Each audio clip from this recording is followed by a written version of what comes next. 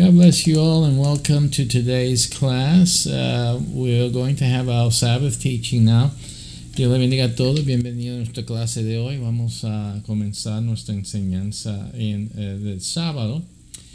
Um, y hoy la enseñanza centra sobre los hebreos o los raíces hebreas, eh, un movimiento eh, que mm, existe y el título dice que es tan correcto, que son, es un movimiento basado en una declaración que es eh, correcto, es real.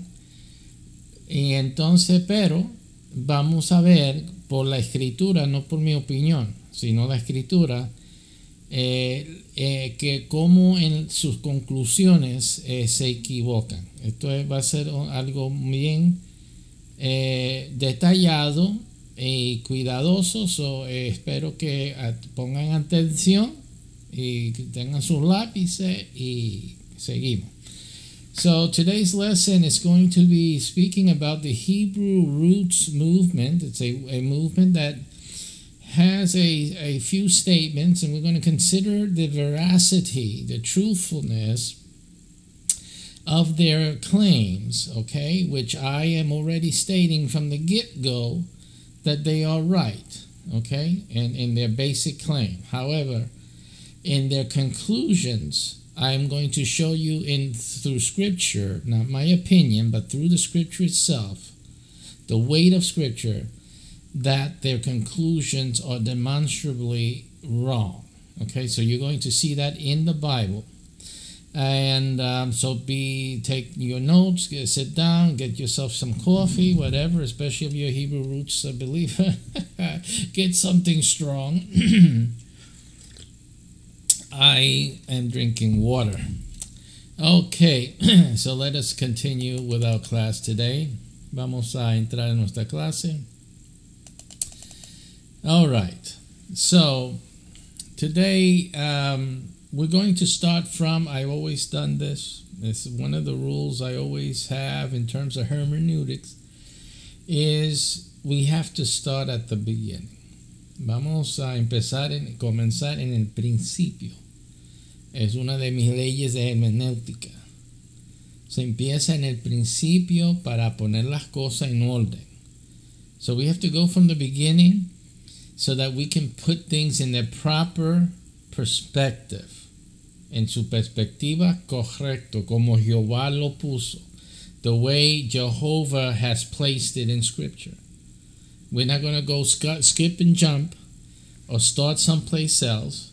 We're going to start at the beginning. What is the first thing that God teaches us in the Bible? ¿Qué es lo primero que Dios puso en la Biblia que nos enseña? ¿Qué es lo que Dios nos está enseñando?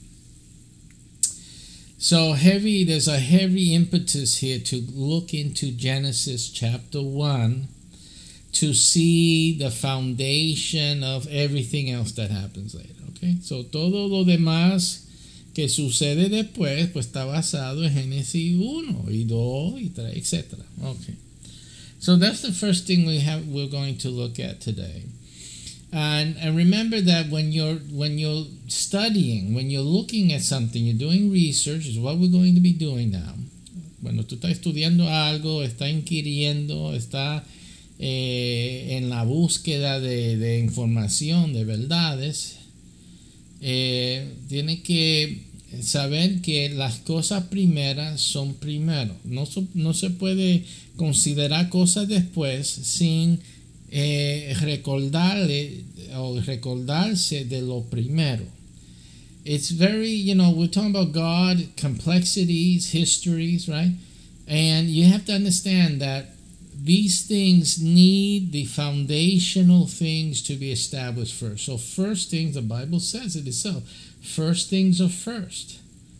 So, let us not forget the first things because once you if you divorce the later things from the first things, then you lose all frame the framework that God established so that you don't lose control, you don't lose focus of or the thread of what the truth is. Así que puso las cosas Dios primero para que no perdamos, para que no perdamos el hilo de lo que es la verdad o no. No se puede estar estudiando cosas después en la Biblia sin la consideración y o tener presente en cualquier momento lo primero establecido. So we cannot develop doctrines in, in scripture later on from late verses later on without having present having harmony and foundationally the first things that God said and taught. Okay. So we see this a lot. I've taught a lot about deception. And again, forgetting the first things is always the first step in any good deception of any scripture. Because it's, it, you'll find that erroneous teaching, erroneous ideation, always for, always forgets to mention, forgets to check the math with the first thing. Siempre la, las ideas de decepciones, yo he hecho videos sobre decepción, lo que es. Siempre se utiliza el olvidarse o no incluir las cosas primeras cuando se está considerando los asuntos. Y eso es, eso es número uno. usted para verificar las cosas tiene que ver las primeras cosas que están de acuerdo. No que se, no se menciona porque estamos por acá, no tiene que ver, cositas así. tiene mucho que ver, all right? So, you know, you have these teachings that come out that completely uh, obfuscate the first things that happen in the Bible, and they they need to do it because the their belief system does not have harmony with what God first said and what God first did. And that's the sure tell sign that those belief systems are erroneous. They're false. Okay, God knows what to do. He knows how to write a book. God knows. God is all powerful. Dios es todopoderoso.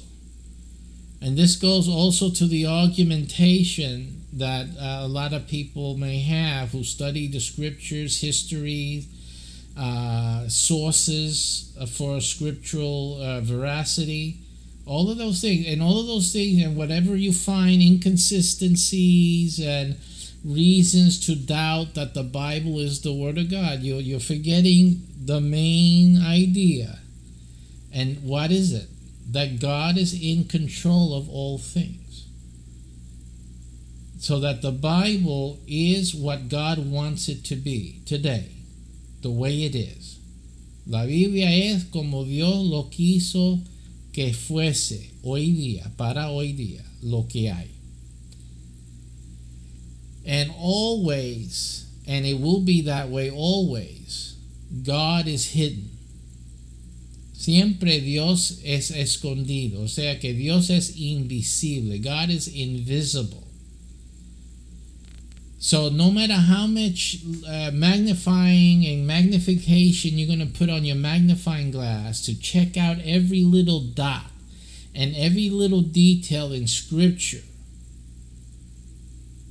the more you do that, the more you will have reasons not to believe or reasons to be deceived.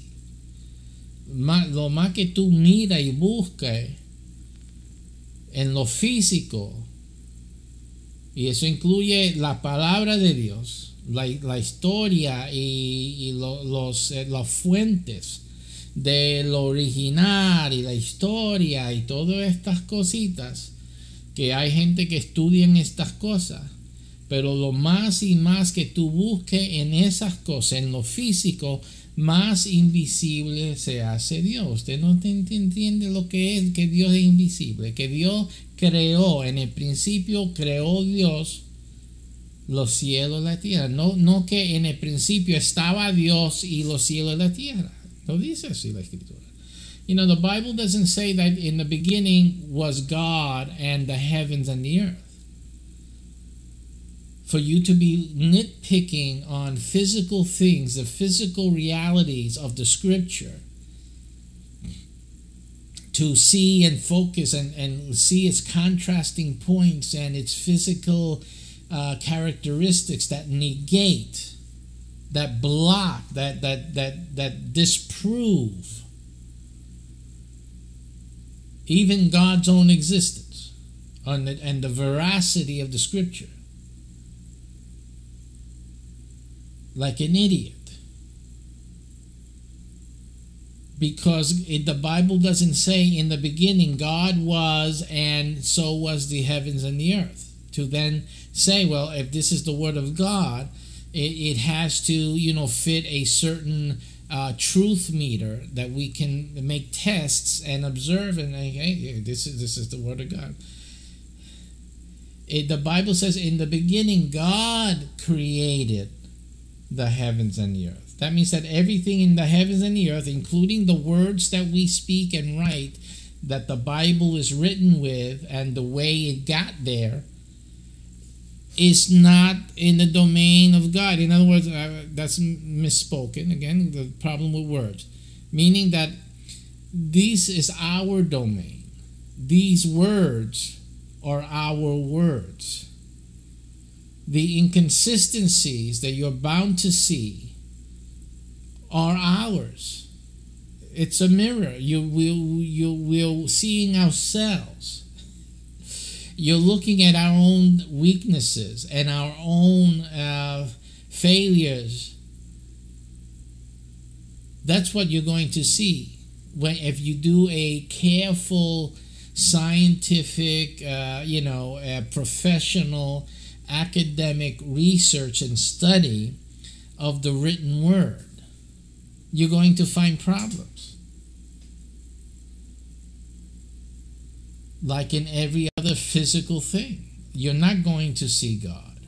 Usted no va a ver a Dios. Usted va a ver palabra de hombre. You're going to see words of men and histories of men and the limitations of man. That's what you will see. There's not limitations of God. You're only looking at limitations of men. Of course, the conclusion is that God doesn't exist because of that, right? Because of God's word. Entonces la conclusión es usted qué va a ver cuando está viendo palabras de hombre. Usted va a ver las limitaciones de hombre, las debilidades del hombre, la fisicalidad, las cosas reales de la fisicalidad que son limitadas, no son perfectas. Eso es lo que tú vas a ver.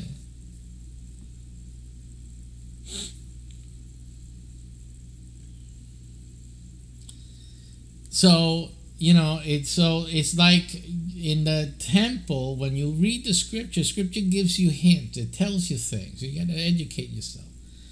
When the uh, when Israel built the temp, the tabernacle, right? God told them you have to build it with all these curtains, all these curtains, and especially one dividing eyesight from the Holy of Holies, right? Where, where the presence of God would come down into that room was cut off from view by curtains.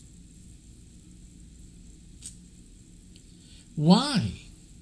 Because it wasn't for men to see God. Man wasn't supposed to see God. If you see God, you die. All you can see was the curtain. That's all you were allowed to see. And all of Israel, what were they allowed to see? The curtains of the tabernacle. Así que Israel, cuando eh, se construyó el tabernáculo, fue cubierto el tabernáculo con eh, cortinas, cortinas. ¿Qué uso tienen las cortinas? Es para bloquear la visión, que uno no vea lo claramente lo que está sucediendo adentro, la realidad, la verdad, que no se vea. ¿Qué es lo que Dios está diciendo con un, tabernáculo que no se puede ver? Lo de adentro, donde supuestamente estaba la Shekinah de Jehová, se veía desde afuera. Pero cuando entraba en el santo de los santos, ese lugar, el santuario, no nadie lo podía ver. ¿Por qué? ¿Qué es lo que Dios está diciendo? Si llegaran los científicos de ahí, ¿qué, qué viesen? If scientists would, would gather around the tabernacle in the day, what would they see? Curtains. But you guys serving a God here, all we see is curtains. Look, uh, we're going to look very detailed. Let's let's study this in great detail. You can go and pull the fibers apart in great detail and trace where those fibers came from. You say, you know, talk about God. There's just curtains here. See that? It, this is the reality of the scriptures as well. This is you're always seeing is man's words here, words. So the more you look, the more you will end up with physical re reality. Lo más que tú buscas la cortina, solo va a encontrar cortina. Porque el poder y la realidad y la verdad del tabernáculo no eran las cortinas. Santo es el Señor. the reality, the truth, and the power of the tabernacle wasn't in the, in the curtains. It was not in the curtains. Simple.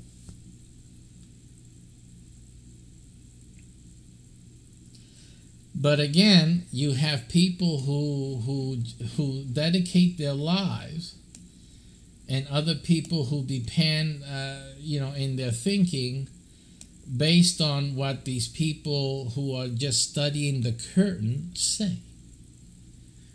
Because they're the experts. Entonces eh, hay gente que vive en que su profesión es estudiar las cortinas. Y otra gente que solamente creen, dependen lo que dicen estos expertos, en lo que dicen, en su opinión, opinión del hombre. Eso es la realidad. So you, you have to make a decision. Are you going to look for the curtains or are you looking for the, the presence of God behind the curtain? That's the decision you have to make. And everyone has to make. When you come to the Word of God, you have to make that decision. You're going to focus on what men have said and done and and what re, human research tells you or are you going to believe in the God who created Adam and Eve? And the God who who created the universe? In the God that was at the beginning who created the heavens and the earth? Así que tú tienes que decidir si tú vas a creer a Dios o creer en, en la realidad física.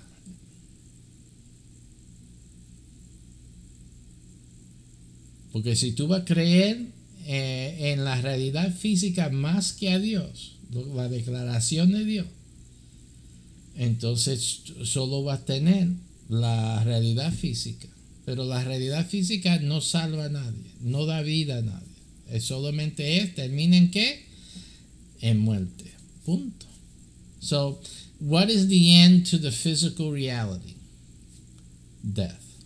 And that's all you have. Because you're looking at the physical reality for your beliefs, for what you're going, how you're going to walk every day. But the Bible tells me that the just walk by faith, not by sight. Pero mi palabra dice a mí que los justos viven por la fe y caminan por fe, no por vista. See? And so th these are the things that you have to take care about. You have to really, if you go to scripture and you're not careful with understanding the scripture from the very first verse, you will be deceived. You simply are a victim of physical realities. And no matter how much time I'm spending here every week telling you to wake up, you're, you're sleeping, you don't know what you're doing, you, you're not going to listen because you simply insist on going by what you see instead of what the truth is. The truth is not what you see, it is behind the curtain. That's what the truth is, and that's where it is. And for that, you can only assess it by faith, not by sight. So, research or faith. I choose faith.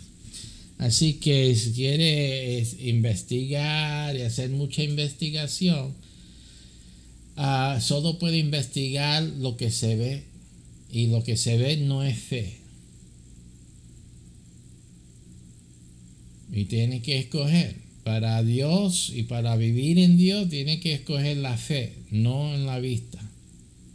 Usted tiene que escoger qué quieres hacer. Yo solo sé que lo que se da por la vista termina en muerte.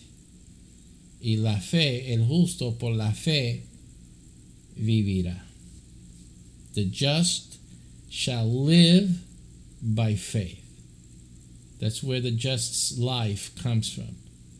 That's the that that's the end of a just's life. Eternal life. That will be the end of it. But if you're going to look at with your eyes, if you're going to do your uh, physical research, you're going to end up dead, right? Because that's the end of everything that's physical. Oh well, uh, Christians die too. And We, hello, duh. But after the curtain is over, behind the curtain, that's the determinant fact. Así que eh, dicen que los cristianos se mueren también, todos nos vamos a morir, pues seguro. Pero es lo que viene después de la cortina, amigo. Eso, eso es lo que yo estoy hablando. Los que viven su vida de acuerdo a la cortina, cuando se terminó la cortina, se terminó. Solamente los que saben lo que hay detrás de la cortina son los que viven allí y vivirán después de la cortina, porque tienen entrada después de la cortina. They know what's happening behind the curtain because the only one who could go behind the curtain was the only one that was cleaned from their sin to enter and minister behind the curtain. See? And so when the curtain, when everyone else has to stop at the curtain, that's the end, that one goes through to the other side and lives, exists on the other side of the curtain. That's the difference between those who believe by faith and those that don't. Okay, so that's the intro,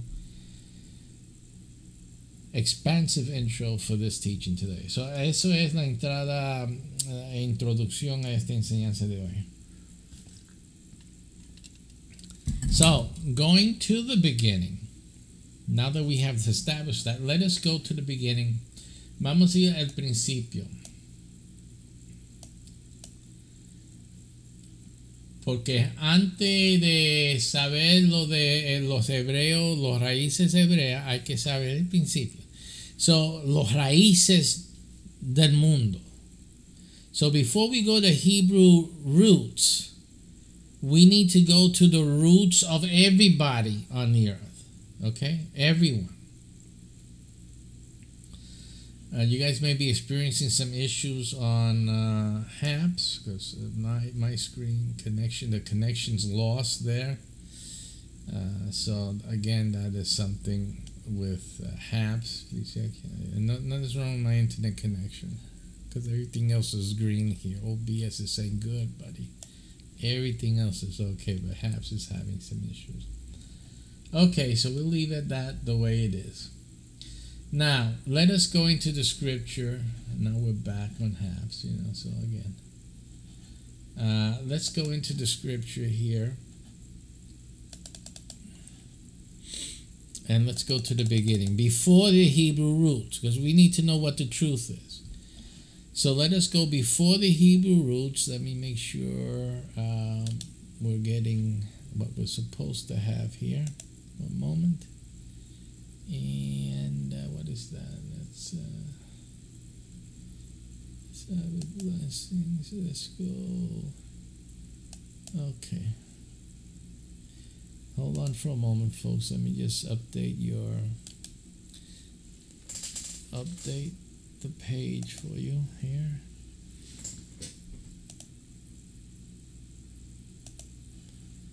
Alrighty. Okay, so everybody should be seeing the Bible that I have here, Bible Gateway, a wonderful resource. Go and donate to them. Okay, Genesis 1. Uh, again, why did God put Genesis 1 in Genesis 1? ¿Por qué Dios puso Génesis 1 en Génesis 1? ¿Por qué no empezó Dios? The first question you got to ask yourself is why didn't God first start all of nature, all of creation, why didn't he first start with declaring? Come on now, listen up now. Declaring the Ten Commandments. Come on, come on. Ok, vamos, vamos a hablar. ¿Por qué Dios no empezó Génesis 1 los diez mandamientos? Vamos a hablar. vamos a hablar aquí. Vamos, vamos a tener lógica. Let's have logic here, okay? Why didn't God? Because, y la razón que digo eso es porque los, los, raíces hebreos y los adventistas, ok, ponen tanta énfasis en la ley. Más énfasis que Génesis 1. Seguro Eh, la ley es lo más importante. The, the law is the most important thing for these two groups, Adventists and the Hebrew roots people. Okay? So, listen, you go by the weight of the argument. The, the weight is that the law is more important than anything else. That, that from the beginning, the law was there from the beginning. But the, the problem here is that where is it?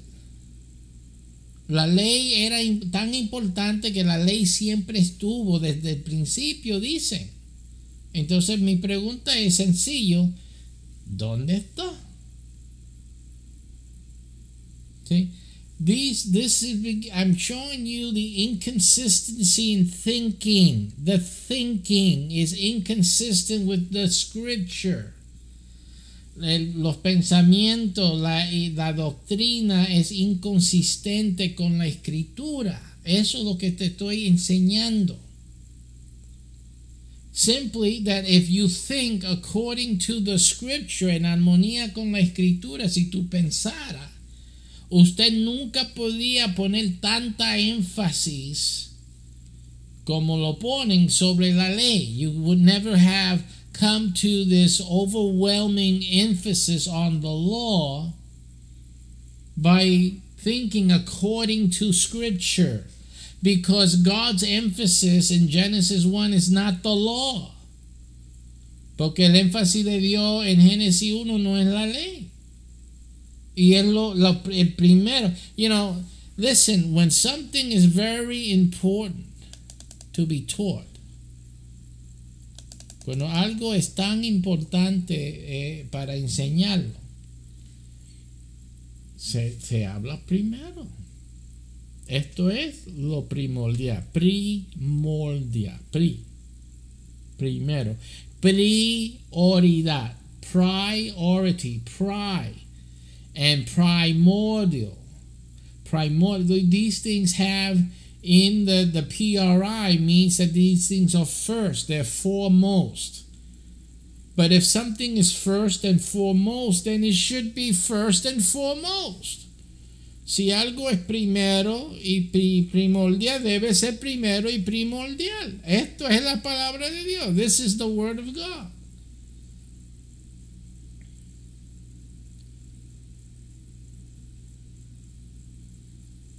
And two reasons it, because it doesn't make a difference for the story of God's creation to put first the law of God. No tiene nada que ver, nada, ninguna diferencia hace que lo primero se pone aquí. La ley de Dios no, no interfiere con nada, pero establece. So it doesn't interfere with anything putting the Ten Commandments here, but it establishes. Simple. It establishes.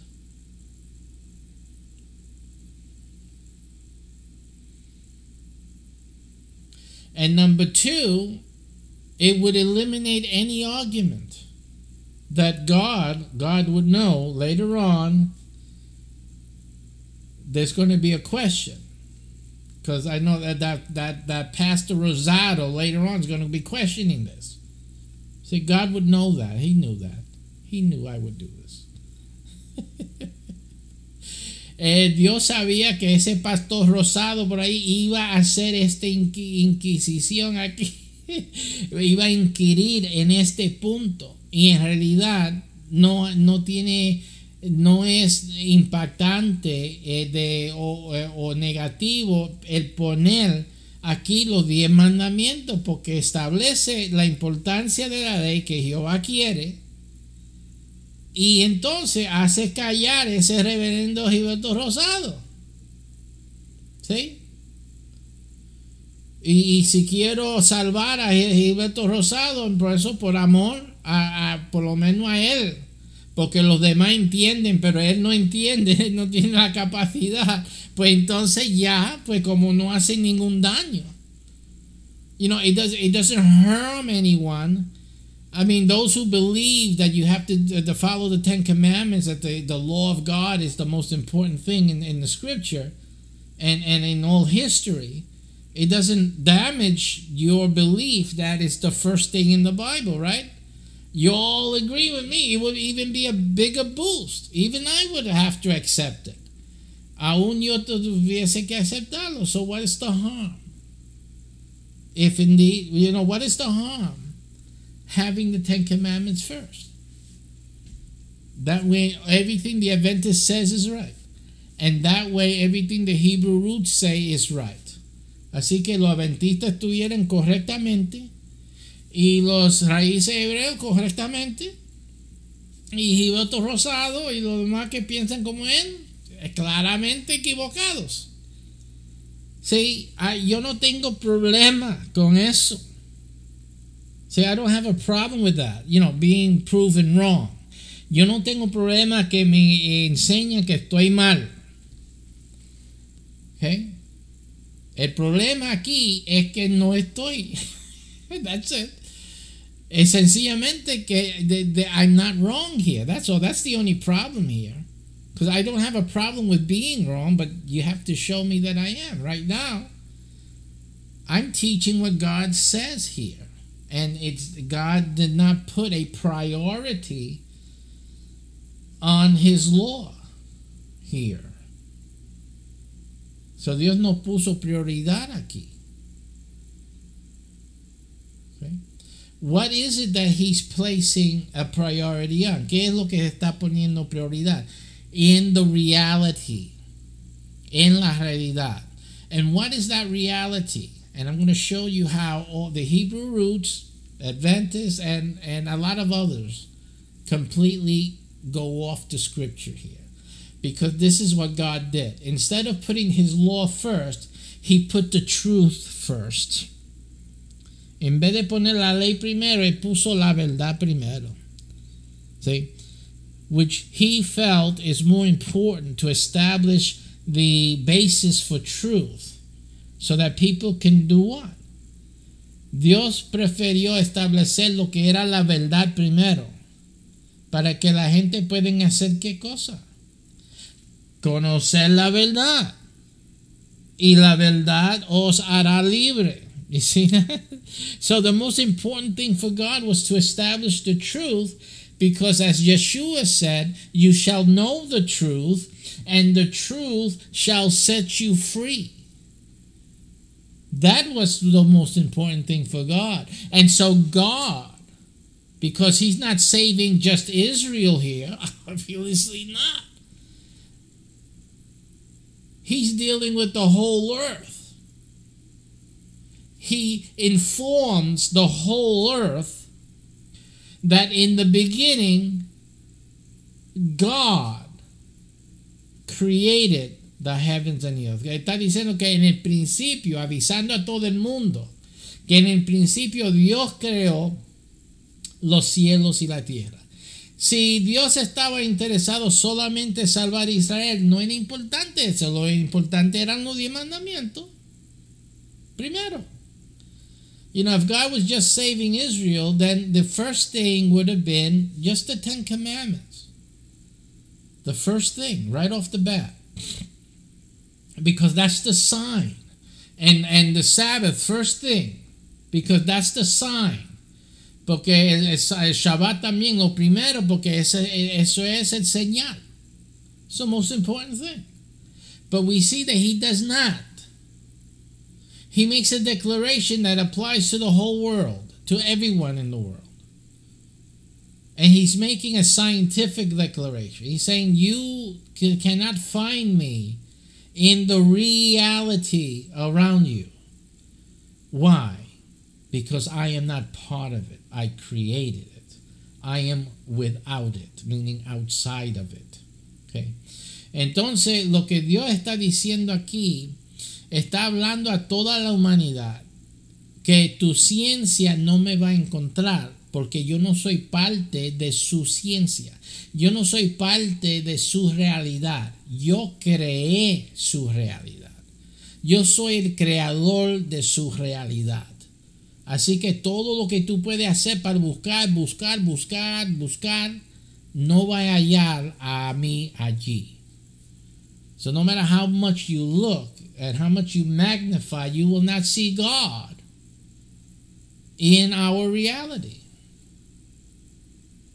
Because God created it, He's not part of it. He created it. We created TVs. We're not part of the TV. I'm looking at it. You're watching your computer created by man. You're not part of your computer. You are looking at it. You're outside of it. There is no evidence of you in it.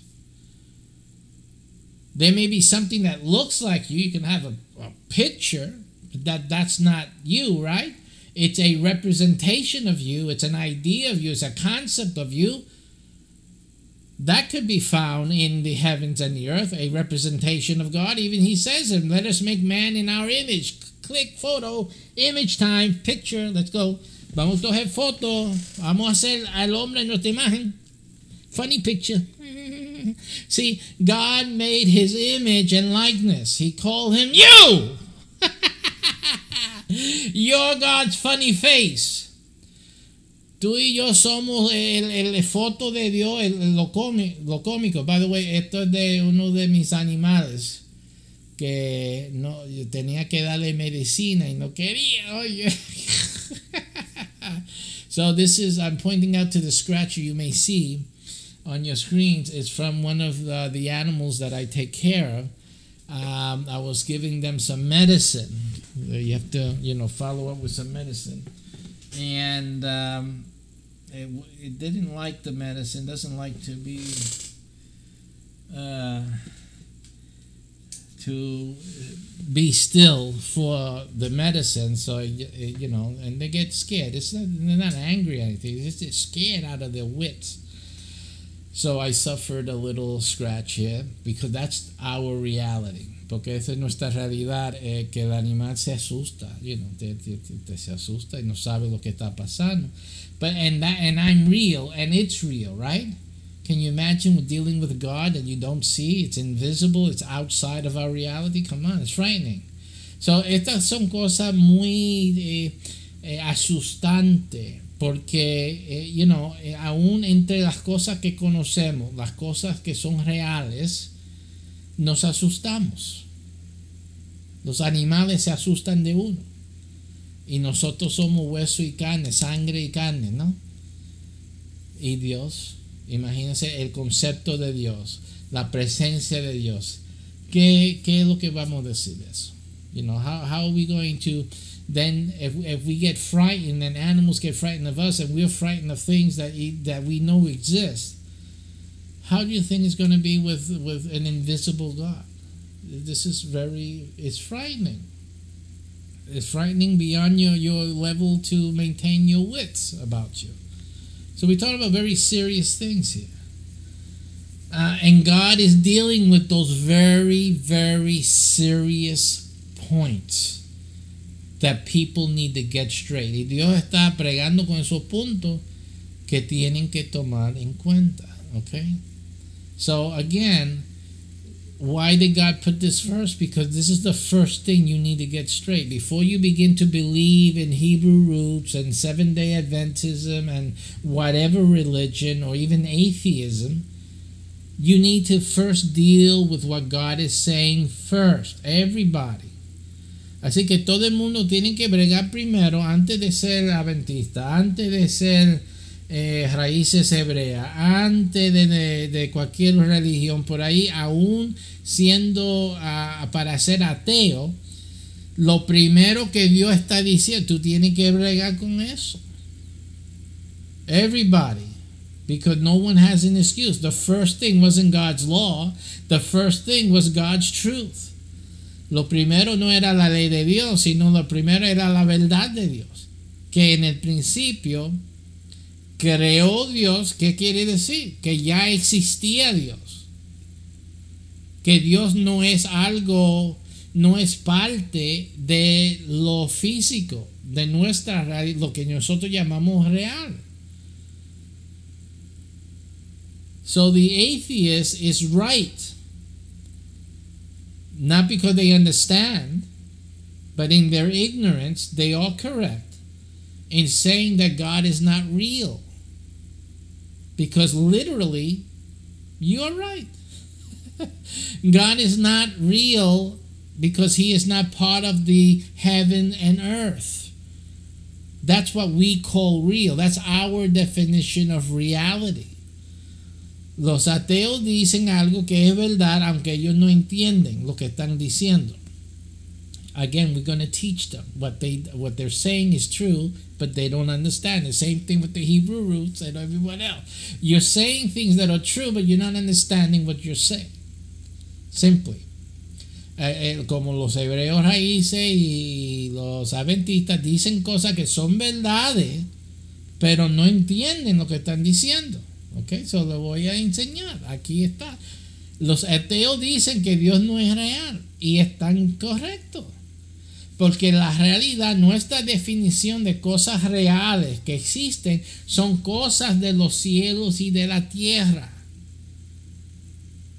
Si no son de los cielos y de la tierra, no existen. No son, de no son reales. Pero fíjese que Dios dice que en el principio creó Dios, ya, ya estaba Dios. Cuando creó Dios los cielos y, y la tierra, la realidad. So, si Dios creó la realidad, ¿cómo puede ser el real? You know, if God created the reality, what we define as reality, ¿cómo puede ser Dios real? Y él tendrá que estar aquí dentro, originalmente. Y eso no es la verdad. Porque Él es el creador de lo que nosotros llamamos la realidad. Because God is the creator of what we call reality. He cannot be then real, not to us, not within our standards of reality. And that is what God says first thing out of his mouth, first thing in Torah, first thing in the Bible. So the atheistic argumentations are all based on ignoring the first verse of the Bible. There's really no need to be argument uh, having apologetical arguments with atheists.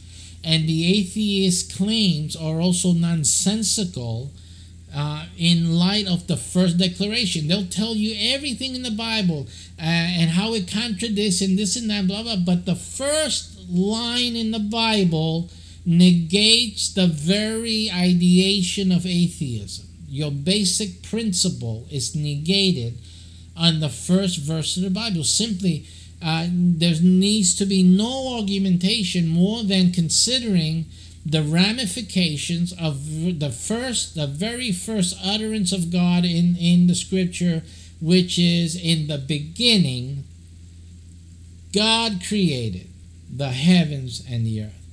And there needs to be no further argumentation, verses, or anything else needed. Deal with it. Before you can continue, give us a, a validation of the right to be an atheist after verse 1 because if you don't give if you don't provide validation for your right to be an atheist with upon verse 1 then there's nothing more to talk about you simply have not passed the test to be a true atheist absolutely wait till they i haven't put that up yet because I, I, don't want to step on all their toes all at once but that'll make them so angry and pissed off Esto va a enfurecer a los ateos mucho. Uh, yo le doy batiza con otras cosas y texto y muchas cosas. Pero esto sí es, this one, e, esto lo, lo elimina porque no son calificados. Aunque eso siempre le ha dicho. Siempre ha dicho a los ateos, aquí no hay verdadero ateo. Yo todavía estoy buscando un verdadero ateo. I haven't found a true atheist yet. And I always throw that at them. They don't know what I'm talking about, right? Because they all say they're self professed atheists. But in their argumentation, I don't I don't find any. Not because of this, but because they're not uh, they're not really dealing with the issue of atheism. Truly, they're just pointing out at things they don't understand in the Bible, and people have misquoted and miscomprehended for ages, and that's the basis of their atheism. They're basically they're atheists because of the errors of human understanding, which doesn't make them true atheists. An atheist negates the existence of God, not based on human failure, but based on the facts. And so that's what they're lacking. They're not dealing. So that's why they can't go beyond this first verse of the Bible. But we're not here to talk about atheists today. This topic is about the Hebrew roots, right? Así que nosotros no estamos aquí para hablar de los ateos hoy, estamos hablando de los raíces hebreas. And the things that I, I'm, eh, la razón que estoy enfocando en este, este tema, el primer verso, es para que tú veas la prioridad que Dios da en caracterizar, es que es muy importante, porque esto sí impacta a los raíces hebreas, para caracterizar la naturaleza de lo que de todo lo que viene después en la Biblia. So the problem here for the Hebrew roots particularly is that God is characterizing with the first verse he is characterizing the rest of the scripture. Okay?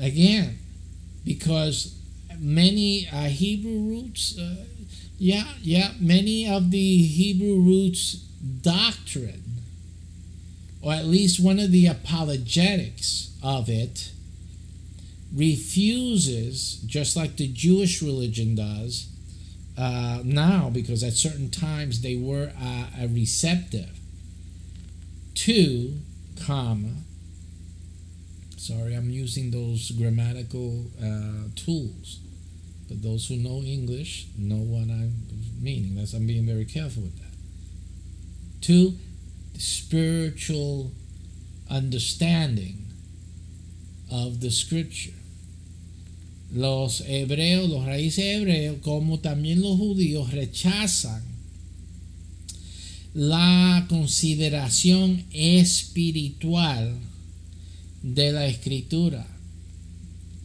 Pero ¿cómo pueden rechazarlo si Dios mismo en el verso 1, el primer verso de Torah, dice que Él es espiritual? Está infiriendo, yo no soy de, la, de lo físico. Así que el argumento que tiran siempre los hebreos raíces y los judíos es que no se puede espiritualizar las escrituras. Y el primer verso de la Biblia está diciendo que Dios no es parte de lo físico, que es lo que los hebreos raíces y los judíos quieren enfatizar. y dicen que esa es la manera de interpretar la escritura físicamente, en, en la realidad humana. So they are focusing on the physical human realities, the Hebrew roots and the Jewish uh, the faith, and rejecting the spiritual understanding of Scripture. Yet the Torah begins by declaring that the truth, the original, the origination of everything physical is spiritual, is God.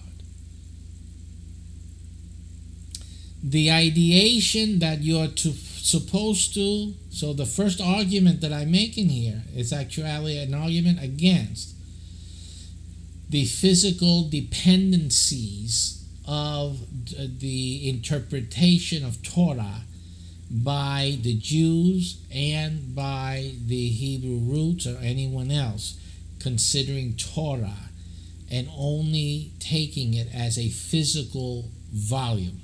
In other words, that the instructions of Torah are only to be interpreted physically, as in obeisance. First verse of the Bible tells you that there's something wrong with that. Simply, God is not physical. And if the obeisance of Torah it, it cements our physicality, then uh, it also should bring you a question to that. Si la obediencia a Torah enfoca en lo físico, debe de hacer una pregunta. Es un forma la interrogación. Porque Dios no es físico, Dios es espiritual. So even when ellos están denunciando los que hablan espiritualmente, they denounce the spiritual interpreters of Torah, and it's almost like talking against God. Suena como si estuviesen hablando en contra de Dios, porque Dios es espiritual. Dios es espíritu.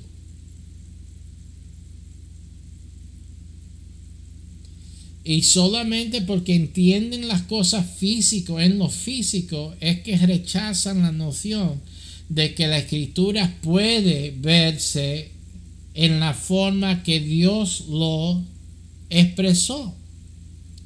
Porque Dios, ¿qué crees tú? ¿Que Dios se expresó, lo expresó físicamente o espiritualmente? ¿De dónde se origina la palabra de Dios? where does the origination, what character, what nature is the origination of the Word of God? Is it in physical nature or is it in spiritual nature?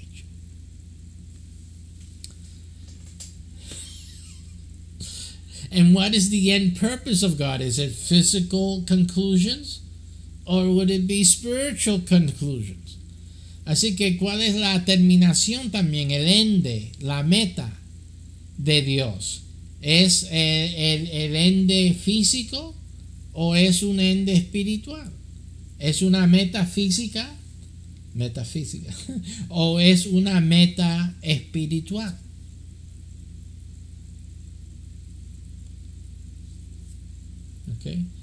Y, y, al fin, ¿cuál, ¿cuál es la intención de, de Torah? ¿Hacerte mejores humanos o hacerse criaturas de Dios, pueblo de Dios, hijos de Dios, hijos de Dios. So, what is the goal of Scripture then? Is it to make us better humans? Or is it to make us um, uh, better uh, servants of God? um, uh, believers in God, the people of God, nation of God, the chosen of God, the children of God.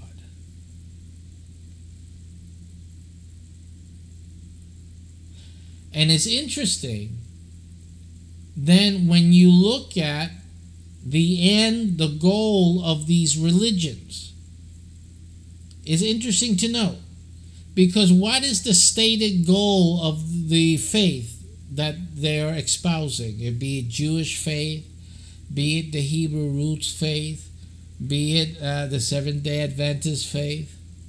Okay? What is the end result of all of this mess, of all of the religious belief? Their particular ones. And you will find that they mainly lean on human existence. That the, at the end of the line, they will live like human beings on a new earth, a new heaven and new earth and they will be humans living, you know, eternally, you know, in that state, in a human state. That this is where they tend to lean towards in their belief system. See? And what I'm indicating to you, that is happens because they ignore this first thing here. This is where it starts. If you start wrong, you end wrong. Si tú empiezas mal, tú terminas mal. Y como empiezan con esta equivocación en el principio, ignorando este principio, ellos terminan mal. Porque no entienden que las cosas físicas son temporarias, no son eternas. They're ignoring the fact that the, that the created things are temporary, especially the physical ones. These are physical or temporal.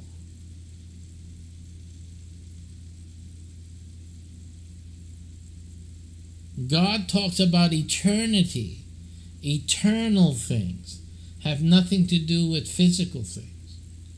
Dios habla en la Biblia de cosas de la eternidad, de eternalidad.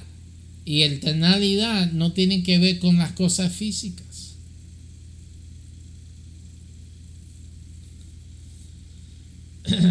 so if you if if you were able to stay up with what I'm speaking here, what what the scripture is inferring, what it's stating by the first declaration, you got you'll understand that any idea, any concept that says that we're not supposed to take the scripture spiritually is nonsense. Así que cualquier dicho que dice o, o, o, frase para defender su ideología que dice que no estamos supuestos a espiritualizar la escritura es falso.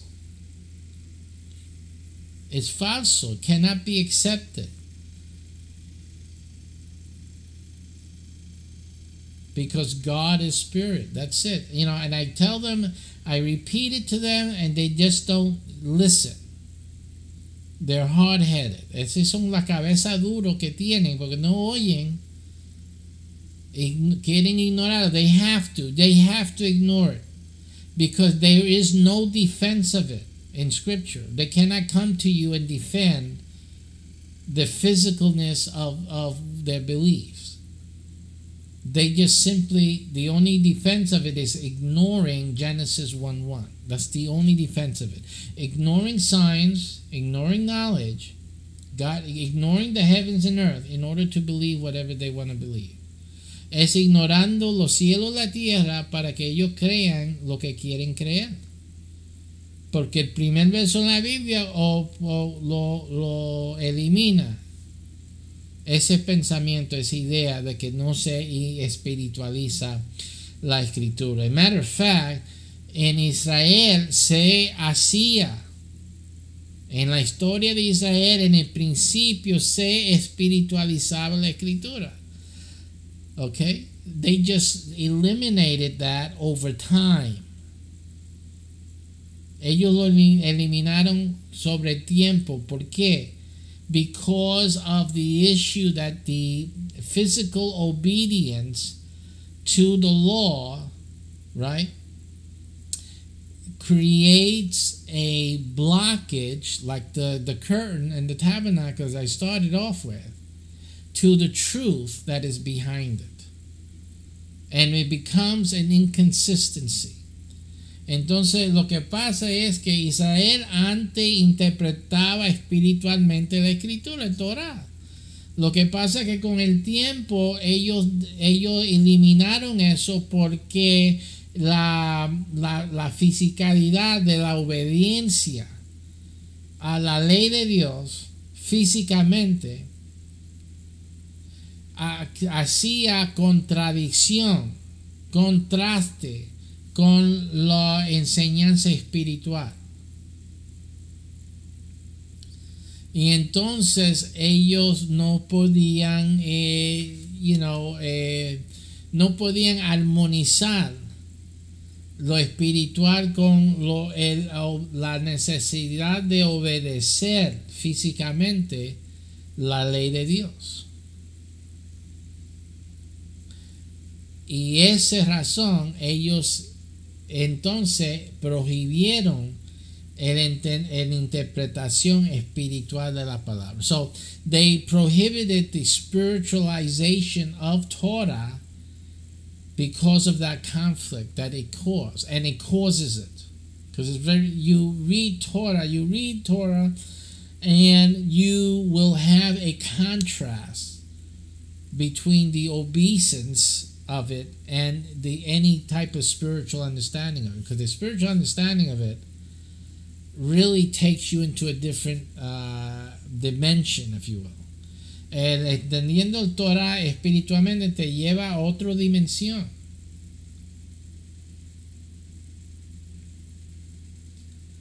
Y uno que si no se eh, si no hay eh, 100% entendimiento porque la carne es así no hay, hay disparidad. Y, and if there's not an equal understanding in everyone, let's say between the spiritual understanding and the physical obeisance, the practice, you're going to have conflicts, uneasiness between these people. One that has understanding, and the others, most of them who don't, because we have to speak the truth here. It is it is easier for human obeisance and and uh, humans to have you know simplistic understanding of things than it is for them to have more complex understanding like spiritualization of scripture. Es más fácil tener obediencia a cosas físicas que en, tener entendimiento y comprensión de, de cosas abstractos que es la espiritualización de escritura, de Torah. But we don't have to go back in the Bible for that. We can see it today because Hebrew roots, in the Hebrew roots movement, there's already a divide growing. It was just a matter of time. Así que hasta hoy día se podía ver, se puede ver, porque hasta eh, hoy día se está viendo una división entre los raíces hebreas. Ya hay, ya hay miembros de los raíces hebreas que están espiritualizando Torah. So we have people now in the Hebrew roots movement that is that are spiritualizing Torah, that are coming to the spiritual realization and allowing a spiritual interpretation of Torah to take place and and the, the others who are Hebrew roots who are focused on the physical obeisance of are now already engaged in debating those who have the spiritual understanding. It's already happening. así que uh, ya, ya están debatiendo entre los que tienen la, idea, la interpretación y espiritual con los que son los tradicionistas de los raíces hebreos que quieren ver las cosas, you know, eh, físicamente nada más. So that is already happening. And this happens, and this happened already. And see, what the Hebrew Roots movement actually did was revisit old debates that already occurred in history. Estos debates ya se existieron, ya existieron y ya fueron conquistados por la iglesia. la iglesia cristiana. Es el resultado después de tanto debate, después de tanta pelea, divisiones, etcétera, etcétera, se quedó parado la iglesia cristiana. So these debates were long debated, long fought over, and the survivor of all of those was the Christian church. Now the Hebrew roots wants to go back and debate stuff that was already debated and lost. And and and what do we see right now happening within the Hebrew roots movement? Debate is happening in there already. Again, because the Christian um, realization and fulfillment of Torah is already in the Hebrew roots movement. And, and, and now the traditionalists of the Hebrew roots movement are fighting with, with the ones who are, uh, who are understanding Torah in the spiritual sense. Así que ya este debate fue peleado, pero ahora cuando eh, los raíces hebreos quieren eh, volver a lo, a lo, lo perdido de antes, entonces ahora están levantando también aquellos que están viendo la, la realidad espiritual de Torah y ahora están peleando entre sí. Otra vez, porque esto ya sucedió. Van a terminar siendo evangélicos al fin. so they're coming around full circle. This is what's going to happen.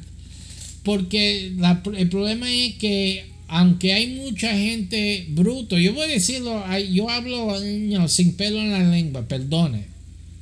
Pero hay mucha brutalidad, mucha estupidez en, la gente hoy día. Y pero el humano aprende.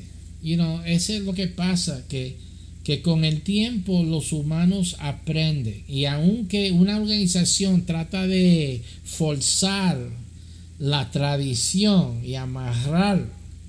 Y es triunfante, que tiene éxito, pero no importa con el tiempo, con el tiempo, las generaciones, generaciones, o cambia la organización o se vacían, se quedan ahí un poco un grupo de fieles. Porque eh, la gente aprende y las generaciones aumenten en conocer y entendimiento. Eso es tiempo.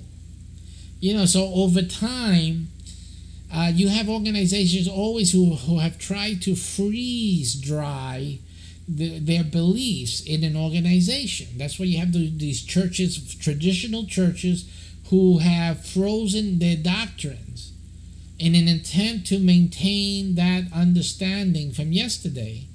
And what happens is that as generations continue, they get educated, there's more knowledge, more understanding, and simply people see that that belief is ancient. You know, it doesn't, it really, it's not truthful because you begin to see and understand more things. And so those organizations become less and less uh, relevant and and people just don't go there. You have a little group, a faithful group, holding on to the tradition, but that's all it is. It's a tradition. That the truth is ever expanding and ever present in the world because God would not allow it to ex extinguish. Dios no va a permitir que la verdad se extingue. Pero estas organizaciones tienen que, que ver y entender que Dios sigue y, las, y la sociedad sigue. Y hay crecimiento, and there's growth. Intellectually, you know, understanding wise. So again, um, this is a simple matter here of having understanding, of understanding what God is saying first. You don't have to, you can look at it as physical as you want.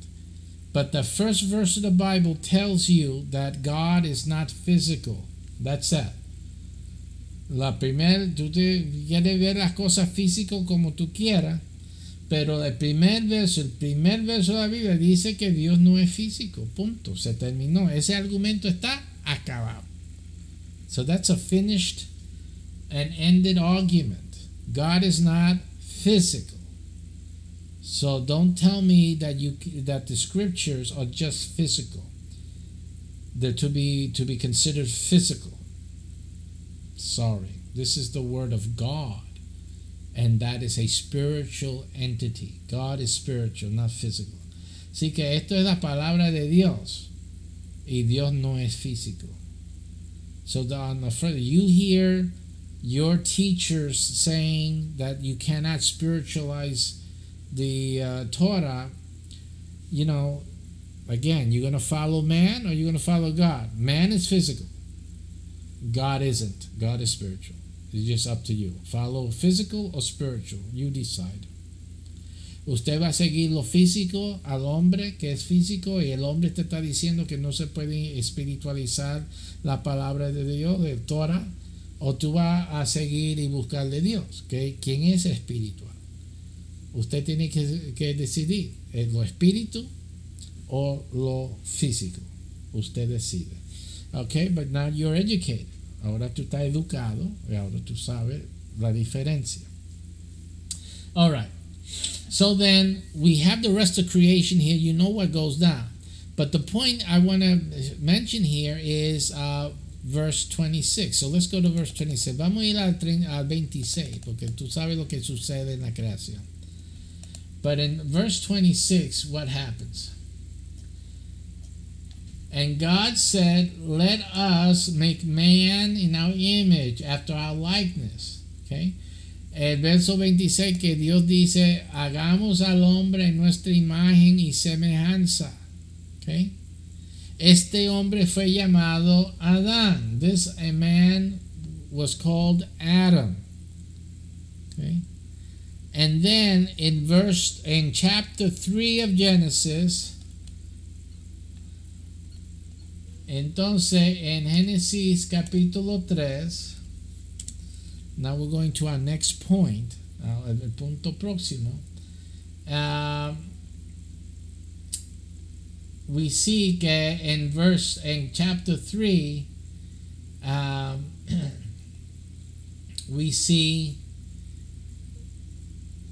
Uh, and we just read 12, uh, uh, verso 12 para solo para actualizarnos lo que sucedió. And the man said, The woman whom thou gavest to be with me, she gave me of the tree, and I did eat. La mujer que me diste para estar conmigo me dio del árbol y comí. ¿Ok? Sabemos que la Eva le dio del fruto prohibido que Dios había prohibido. We know that uh, that Eve gave him of the fruit that God had prohibited them from eating, consuming in the Garden of Eden. So, so what happened to man? Man fell from his former state. Entonces el hombre cayó de su estado original. Again, this is the beginning. Esto es el principio. Okay? Uh, this is what happened. This sets off the rest of the Bible. It is not Israel. Is there Israel here? ¿Está Israel aquí? No. There's no Israel here. There's men here. The men of the world, the people of the world, man and woman. That is what God created. God created Adam, wasn't Israel. Dios creó a Adán, no fue Israel. Okay? Now, he said that the day you shall eat, you shall surely die. El día que comieres, eh, de cierto moriréis. Okay, I'm not going to get into too much of the detail of how man died. If he died, if he didn't die, what, what does that mean? Everyone agrees, or most of the religious groups agree, that he died spiritually. Que, que Adán están casi todos de acuerdo que Adán murió espiritualmente. No voy a entrar en los detalles porque tengo muchos videos hablando de estos detalles y hablaré de estos detalles en otra enseñanza. But what have we what do we have here? Again, primordially. Pri, uh, what do we have primarily? ¿Qué tenemos aquí primariamente? ¿Qué tenemos aquí primordialmente? ¿Qué tenemos aquí como prioridad? What do we have here as a priority? What we have here is the problem.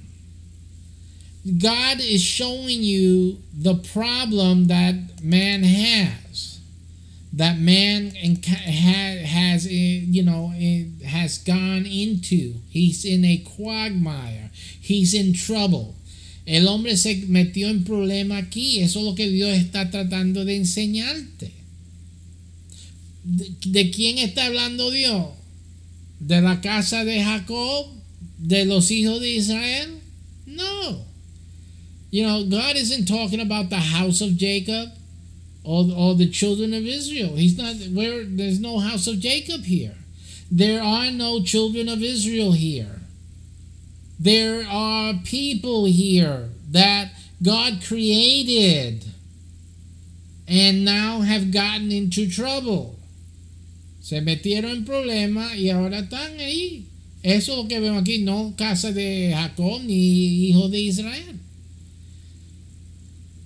Okay, so, so are you understanding that if God only is dealing with Israel, all of this was unnecessary? Si Dios solamente está tratando con Israel, todo esto es innecesario. All of this does is gives Gentiles the idea that they matter, which is not what the Jews teach and not what the Hebrew roots teach. Esto lo que hace es enseñar que los gentiles importan a Dios. Y eso no es la enseñanza que enseña los raíces hebreos, ni tampoco lo creen los judíos.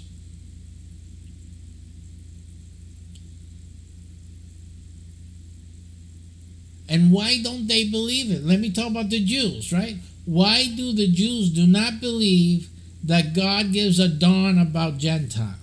¿Por qué los judíos no creen que Dios le importa, you know, eh, de, de los gentiles? I'll show you. Let's go to the scripture. Oh, Santo, listen. You, you guys got to be careful. Oh my, we're going we're going to show you the stuff. This is the origination of all of this stuff. Look at this. Vamos a ver aquí and uh, this is in, in Spanish. Let's see if we can get the let's get the in Exodus 19, Éxodo 19. Exodus 19, and this is what the God said. Listen, and 3, verse 3 And Moses went up unto God.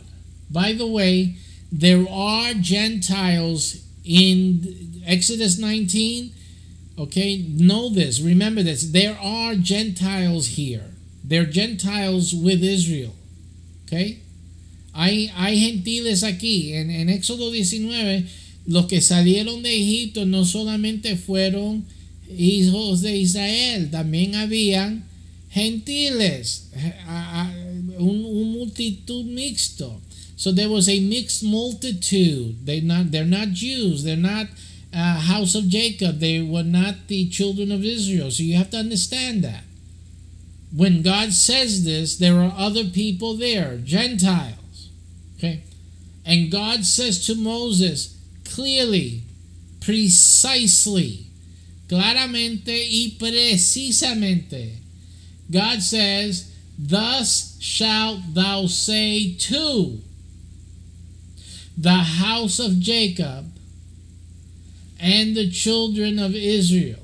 Así que dirás así a la casa de Jacob y a los hijos de Israel. Específicamente specifically, okay, to distinguish from the other guys who were there, which were Gentiles from other nations, para distinguir entre los demás personas que estaban allí, que eran de las diferentes naciones, gentiles, paganos, etc. Okay, they were pagan, Gentiles from other nations were there, God excluded them from the instructions, Torah, That's what Torah means. Instructions. Thus shalt thou say to the house of Jacob and tell the children of Israel. Así dirás a la casa de Jacob y los hijos de Israel las instrucciones, Torah.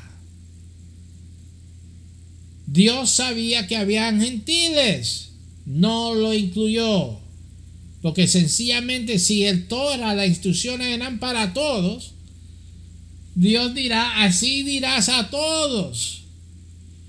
You know, if, if, if the instructions were for everybody, Shabbat, the Ten Commandments, etc., God would have said, and tell everyone, thus thou shalt, thus shalt thou say to all, to everyone gathered at the mountain. Any little thing like that that, you know, God would say normally at any other given time. But here, here, he specifically says, for goodness sake, man, don't you understand English, Hebrew, or Spanish by now? Ustedes no, entendien, no entienden lenguaje, idioma, inglés, español, eh, hebreo, no entienden. A la casa de Jacob y a los hijos de Israel. No es a todo el mundo. Dios sabe decir a todo el mundo, a toda la tierra. Porque toda la tierra es mía. You want, you want me to prove you that God knows how to say all the earth? Here it is in the same chapter. Aquí para que la gente dejan de estar en la ignorancia defendiendo errores. So that people can stop defending erroneous doctrine.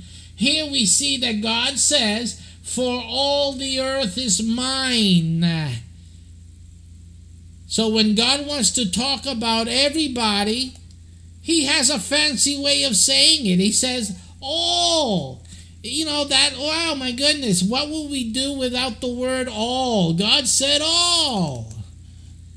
See that? When god wants to say all when he means all he can say it. Oh praise god.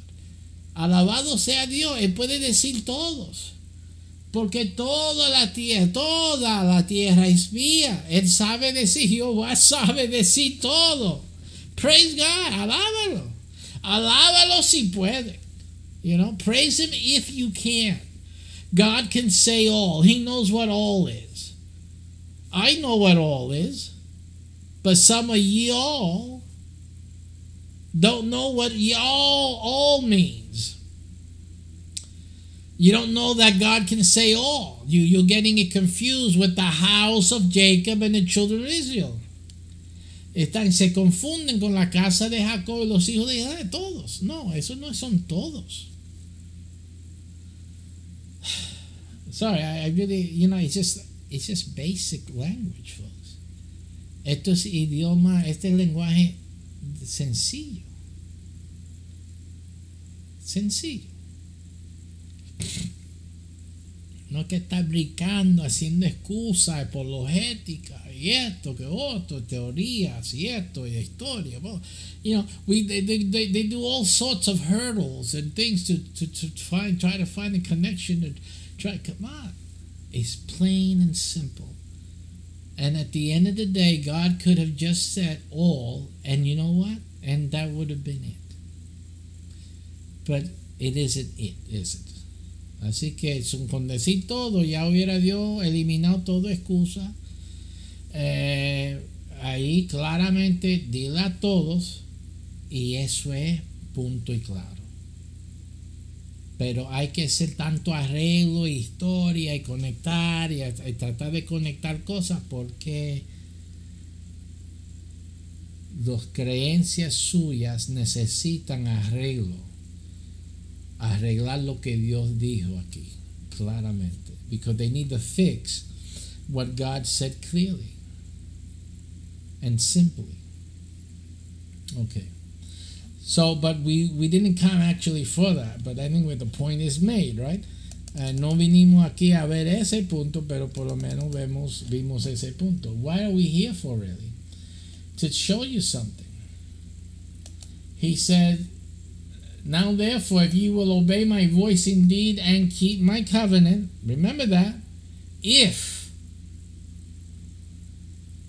si, obede si oyeres hoy mi voz y guardasen mi pacto, then ye shall be, then, then, this is math. Esto es matemática. Okay? Entonces, Ye shall be a peculiar treasure unto me above all people. See that? Above all people, a peculiar treasure or a special treasure. Above all people. That's why the Jewish people do not believe that Gentiles have anything to do with Jehovah. Por eso los judíos piensan que los gentiles no tienen nada que ver con Jehová, porque ellos son el tesoro especial de Jehová. Porque Jehová dijo que ellos eran tesoro sobre toda la gente. ¿Sí? So the again the ideation, the mistake that's being made is ignoring again something else that God says right here. What are they ignoring? ¿Qué es lo que están ignorando los, eh, los judíos y los hebreos raíces? ¿Qué están ignorando? Esta, esta clarificación, este punto, este detallito. This little detail here is what they're ignoring. What does it say? For all the earth is mine. Okay? It doesn't say, you know, they could be. It doesn't say, well, they were mine. No, it says they are mine. See?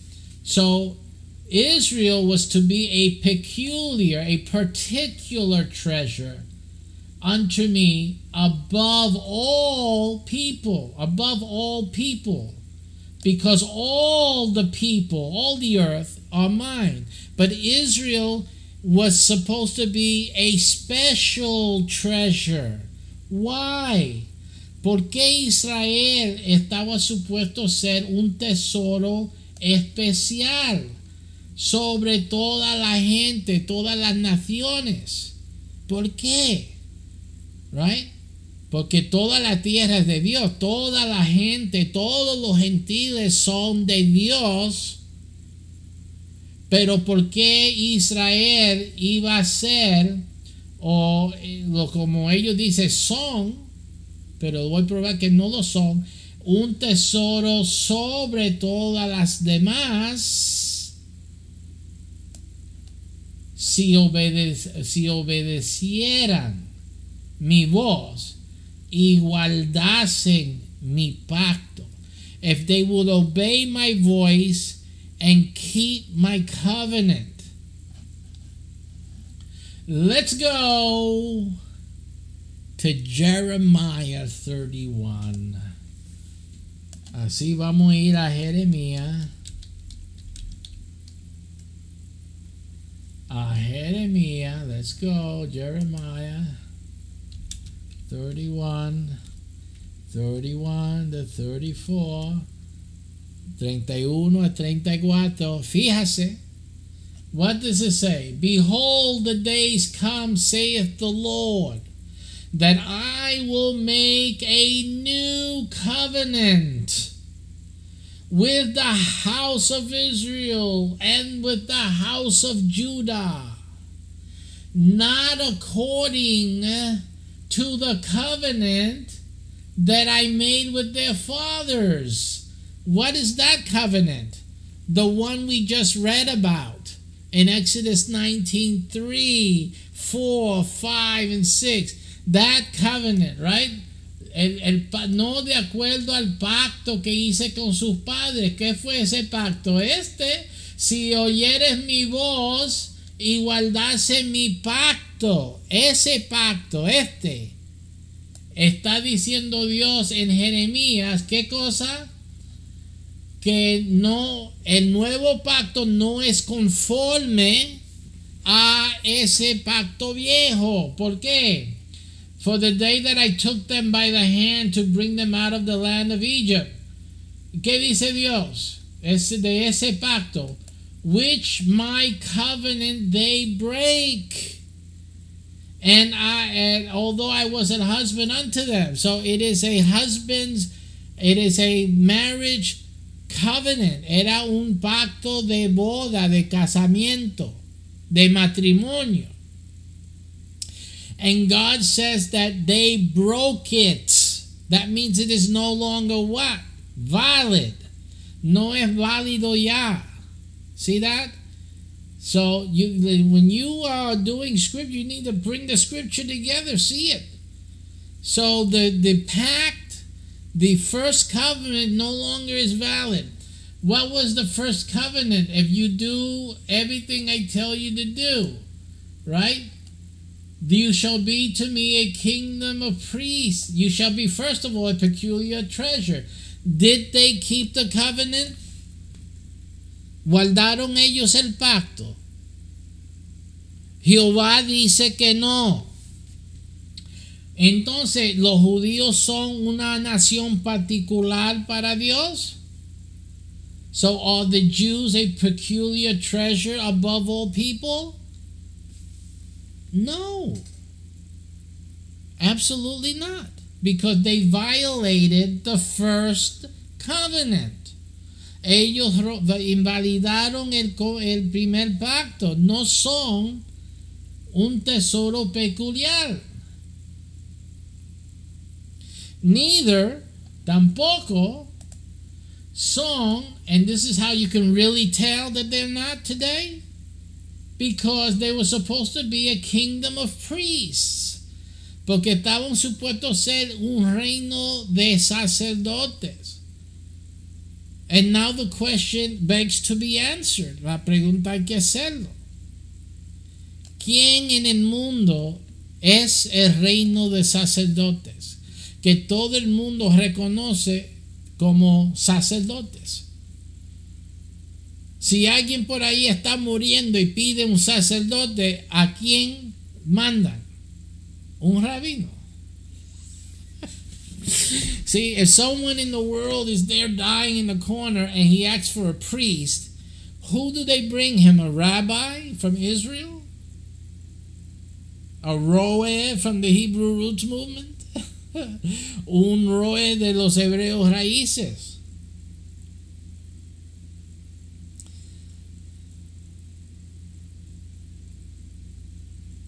Now, I am not Catholic. Yo no soy católico. Yo no estoy diciendo ahí, eh, promoviendo la iglesia católica. No. Hay, hay muchas razones eh, que son para otros videos. Que no. Pero recuerde cómo es que Dios enseña. You have to also remember uh, how God teaches. He makes his points very clear. Él hace sus puntos muy claras. ¿Ok? Muy claras. Y centrales. Porque todos los hombres hacen mal. Because all men do make errors. All men no one has 100% truth. No, nadie tiene 100% la verdad. So, no hay una organización que tiene todo la verdad. Todo 100% están con 100% eh, de conocimiento. Eso no existe. You know, there's no organization on the earth that has 100% the truth. It doesn't exist because human beings are looking through the curtain or at the curtain. You know, the curtain is in the way. La, la, eh, el, el, ser humano tiene que ver a través de la cortina. La cortina encubre los ojos, no se ve claramente las cosas. Okay. Ninguna organización tiene toda, todo 100% de la verdad como organización. Pero las verdades centrales pueden ser verdaderas. But the central theme, the central doctrine, the central, teaching can indeed be the truth, essentially the truth of the matter, and the most important ones. Así que eh, las verdades centrales pueden ser la verdad y lo más importante. Y la verdad de la iglesia católica que ha preservado desde los tiempos de Jesucristo es que Yeshua es el Mesías. Eso es lo que está enseñando la iglesia católica y ha preservado por todas estas edades. So the, the Christian church, the Catholic church in particular, has maintained that Yeshua is the Messiah. Yeshua is Mashiach. That's it. That is the central core teaching of the Catholic Church. Jewish. The Jewish Savior is Yeshua. Que la, el Mesías hebreo eh, o judío es Yeshua. Eso es lo que ha enseñado y preservado la Iglesia Católica.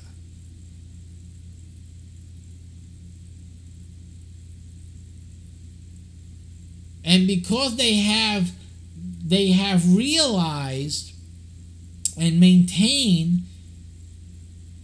the teaching of that truth, they are the, the priests of the world. They are a nation. In fact, in fact, the Vatican is not just a church. It is a nation. It has a flag. It is recognized in the League of Nations.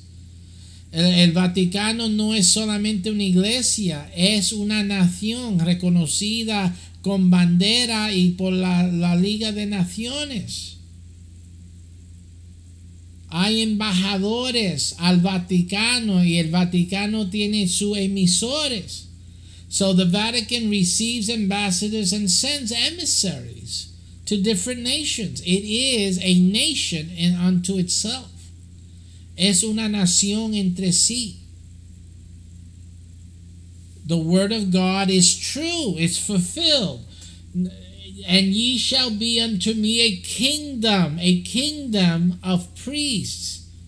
Y serán para mí un reino de sacerdotes. Y eso es, describe hoy día el Vaticano. Y lo que representa el Vaticano, como hacen todo y reconocen todos los, los fieles hebreos raíces, es que todos los cristianos están ahí, evangélicos. Son hijas de, de, de la, del reino de los sacerdotes. The evangelical church, as stated by the Hebrew roots people, are a daughter, a branch of this kingdom of priests. And we take it. Thank you. Thank you for recognizing that. Gracias por reconocernos como parte del reino de los sacerdotes.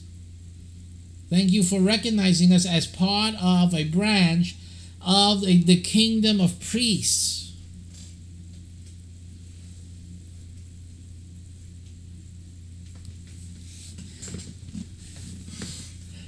But we fulfill God's word. Nosotros eh, eh, cumplimos la palabra de Dios. Nosotros preservamos la enseñanza de la realidad, de la verdad. We have maintained uh, the teaching of the truth. And that is why the Christianity is the kingdom of priests recognized all worldwide and historically. That's something that the Hebrew roots would never be able to do.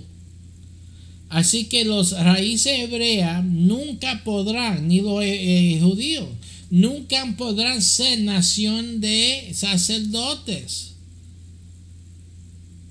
Hasta que, eh, hasta llegar el, el, la nueva Jerusalén, no va a poder ser. Not until the new Jerusalem is formed, it descends from heaven, and then, and then can the Jews become the, the kingdom of priests because Jesus will be reigning, Yeshua will be reigning the whole world in, the millennium. En el milenio Yeshua va a ser rey sobre toda la tierra. Entonces los judíos podrán cumplir su papel, tomar su lugar que estaba supuesto tener desde el principio pero que mal entendieron la palabra de Yahweh, la Torah. They then they will understand Torah the way it was supposed to be understood and then take their rightful role as priests to the nations. So now let me ask you a simple question. What is it that they're not understanding now that they will be then understanding then? ¿Qué es lo que no están entendiendo ahora o a través de la historia que van entonces a entender en, en aquel entonces? They're going to be understanding what makes the Christian church it now. Van a estar entendiendo lo que la iglesia cristiana es ya. Because the end result, the result of it is a kingdom of priests. El resultado del entendimiento de Torah es que son, se, se convierten en una nación de sacerdotes. My goodness, Lord have mercy. You know, like how you can be more clearer than what God is saying here. Look me again, read it again for yourself. Léelo otra vez por sí mismo. No puede cantar más claro el gallo. If, if ye obey my voice indeed and keep my covenant, then, then, then, then. So if if anyone obeys the, his voice and keeps the covenant, then ye, and this is again Israel, shall be a peculiar treasure unto me above all people. Then entonces sería un tesoro especial sobre toda la gente, porque mía es toda la tierra, for all the earth is mine. And ye shall be unto me a kingdom of priests. See that? So that is what that is the plan of God was to make Israel a kingdom of priests. El plan de Dios era de hacer Israel un reino de sacerdotes. ¿Qué es la función del sacerdote? What is the functioning of the uh, priest? What do you know what the main function of the priest is? ¿Conoces lo que es la, primer, la primaria función del sacerdote en cualquier nación, en cualquier religión?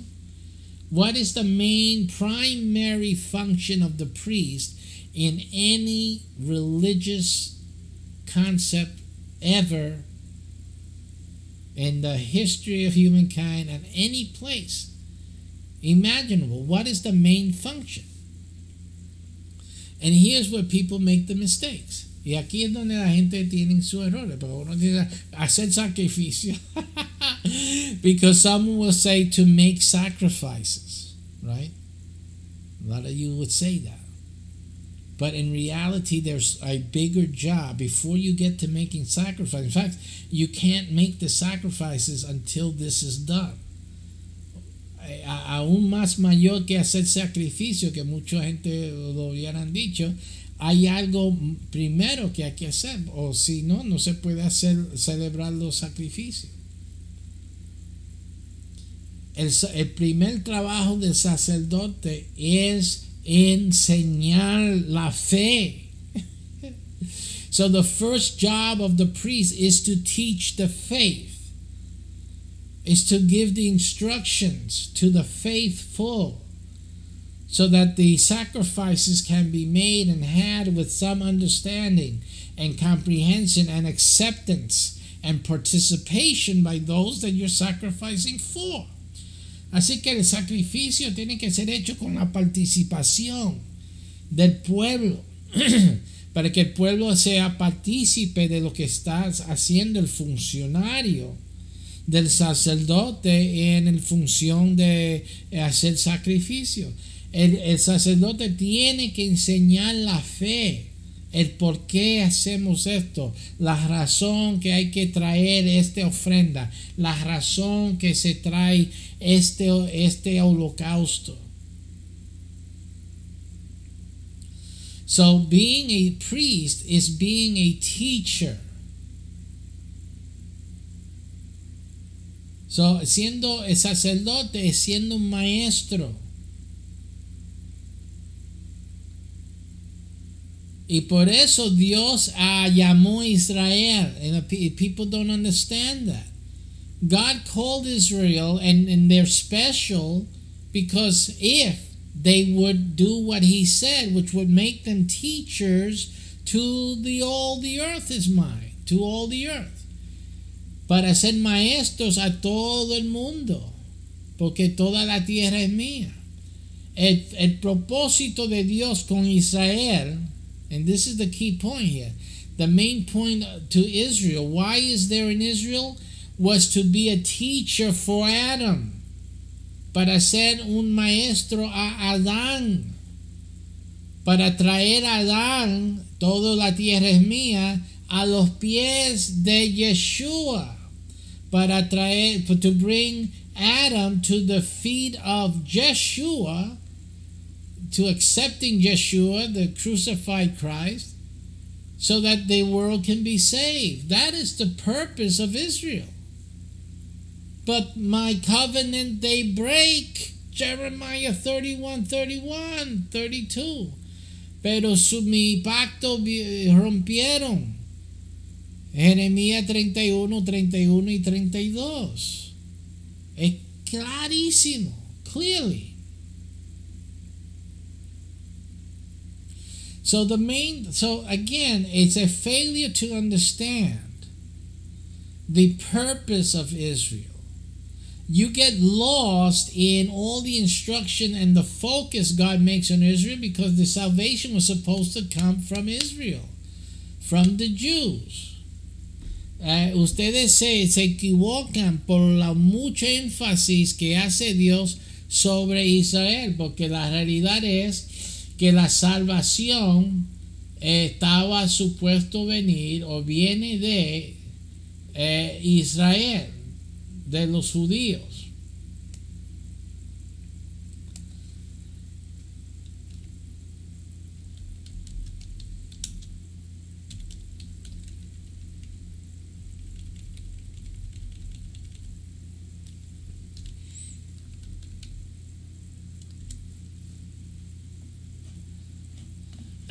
Vamos a verlo en la escritura. Let's, let's take a look for that in scripture so that you can see it.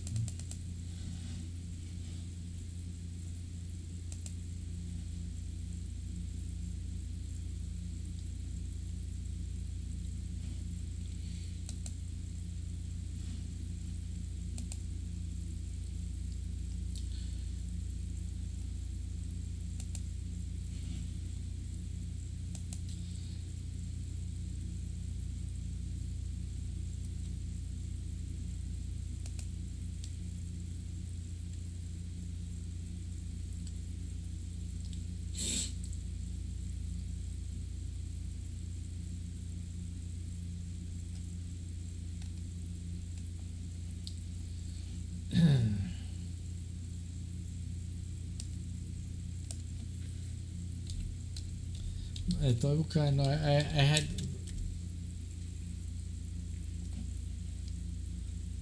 Yeah. Okay, so it's in John 4 22. Juan 4 uh, 22. Okay, and it says very clearly here, ye worship, ye know not what we worship. Okay, sorry, let me read that. ye worship, ye know not what. We know what we worship. For salvation is of the Jews. See that? Así que eh, Jesús dijo, Yeshua dijo que eh, los otros, este está hablando con, yo, yo creo que la, la eh, I believe it's the Samaritan uh, this point. Um,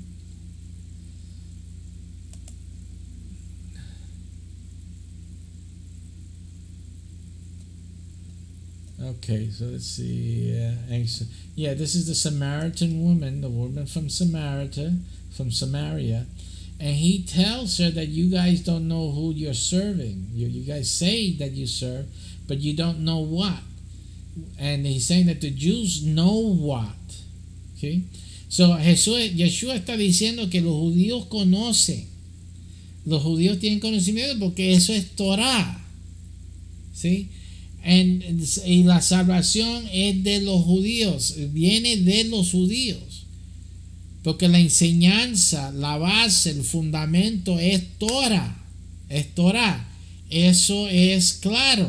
So it's clear that Torah is the basis for the gospel of Jesus Christ, of de Yeshua. Es el evangelio de Yeshua, está en Torah. Okay? Es la base, es la instrucciones preliminaria, las primeras cosas. So the first things are first. These are, but the first things are not the end things. Las primeras cosas no son las cosas finales, no son las cosas últimas no son las cosas altas. So the first things are not the high things, they're not the more complex things. The first things are the baby things. The things that establish the reasons and, and the steps to build into understanding the revelation that or the manifestation or the fulfillment hello fulfillment that was later to be revealed, manifest, made reality. Así que las primeras cosas establecen el fundamento, la base para que lo demás viene a realizarse en el futuro. So, again, the salvation is of the Jews, and they were supposed to obey, la salvación de los judíos, están supuestos a obedecer igualdad el pacto, y, pero violaron el pacto. So they were supposed to uh, fulfill, uh, they're supposed to keep the pact, the covenant. And because if they kept the covenant, they were supposed to become a peculiar treasure to God. Why? Because they would be what? A kingdom of priests. Ellos iban a ser un tesoro especial para Dios porque serían un reino de sacerdotes que enseñan a toda la tierra. Pero, ¿qué pasó? Jeremías 31, 31, 32. Violaron mi pacto, rompieron mi pacto. So, what happened to Israel? They broke the covenant. So, they could no longer be, they're not a peculiar treasure to God because they're not doing the work they were supposed to do. They don't have the understanding and they're not doing the work they were supposed to do. no tienen el entendimiento Israel y no pueden hacer, ejecutar el oficio de sacerdotes a todo el mundo. Ese papel comprobantemente es de la iglesia cristiana. So demonstrably, the Christian church in, in, as a whole is the kingdom of priests on the planet. Historically speaking, biblically speaking, the kingdom of priests are the Christian church. You can't argue with that. It is simply a matter of history. Just look. It's just ask anyone, go down the street with a microphone and video. Who are the priests in the world? What church, what group do you know that the world considers priests? Hello? Answer the question. And just go along the street, any street you want to go, any city. Cualquier ciudad que tú quieres ir, cualquier lugar y pregunta de, en el mundo, en cualquier sitio, quiénes son reconocidos como los sacerdotes, qué, fe, qué, you know, qué fe en general es reconocido como sacerdotes. Y incluso los musulmanes te dirán cristianos. Even the Muslim would have to tell you the Christians. They're the ones that have the priests. Even they would tell it to you. Because that's the fact. It's clear. It is not debatable, ladies and gentlemen. No se puede argumentar. Claramente que son, es la iglesia cristiana. La, la cosa es por qué. ¿Por qué es la iglesia cristiana? Sencillamente porque la iglesia cristiana preservó, no es perfecta, preservó la verdad peculiar, el elemento que hace peculiar cuando hay entendimiento de Torah. So, what you have is that the Christian church maintained the peculiarity, the element that makes a nation peculiar, a peculiar treasure for God, and qualifies them to be priests unto the world. that was preserved by the Christian church, and that is as simple and as clear as anything could possibly be. And if you don't see that, then you are simply blind and um, unfortunate.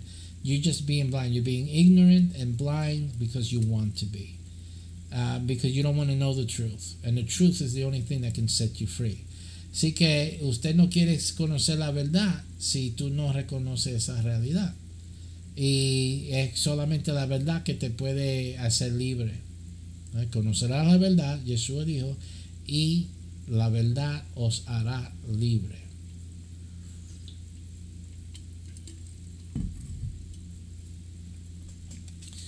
So, here we have already shown you the conciseness of the scripture, the evidentiary thread of scripture, la evidencia, el hilo de evidencia de la escritura que establece claramente las no solamente la declaración de Dios. It doesn't what we've shown you is not just the declarations of God, but the evidence that God provided in scripture so that you can know who is right and who is wrong. Así que puesto, puso Dios en la escritura cómo usted puede distinguir, discernir quién está correcto y quién no está correcto. Sencillamente, porque puso ahí la evidencia. ¿Qué son la evidencia? Let's look at it again. What is the evidence that God provides so that anyone can see and look and look for the evidence of who is right and who is wrong?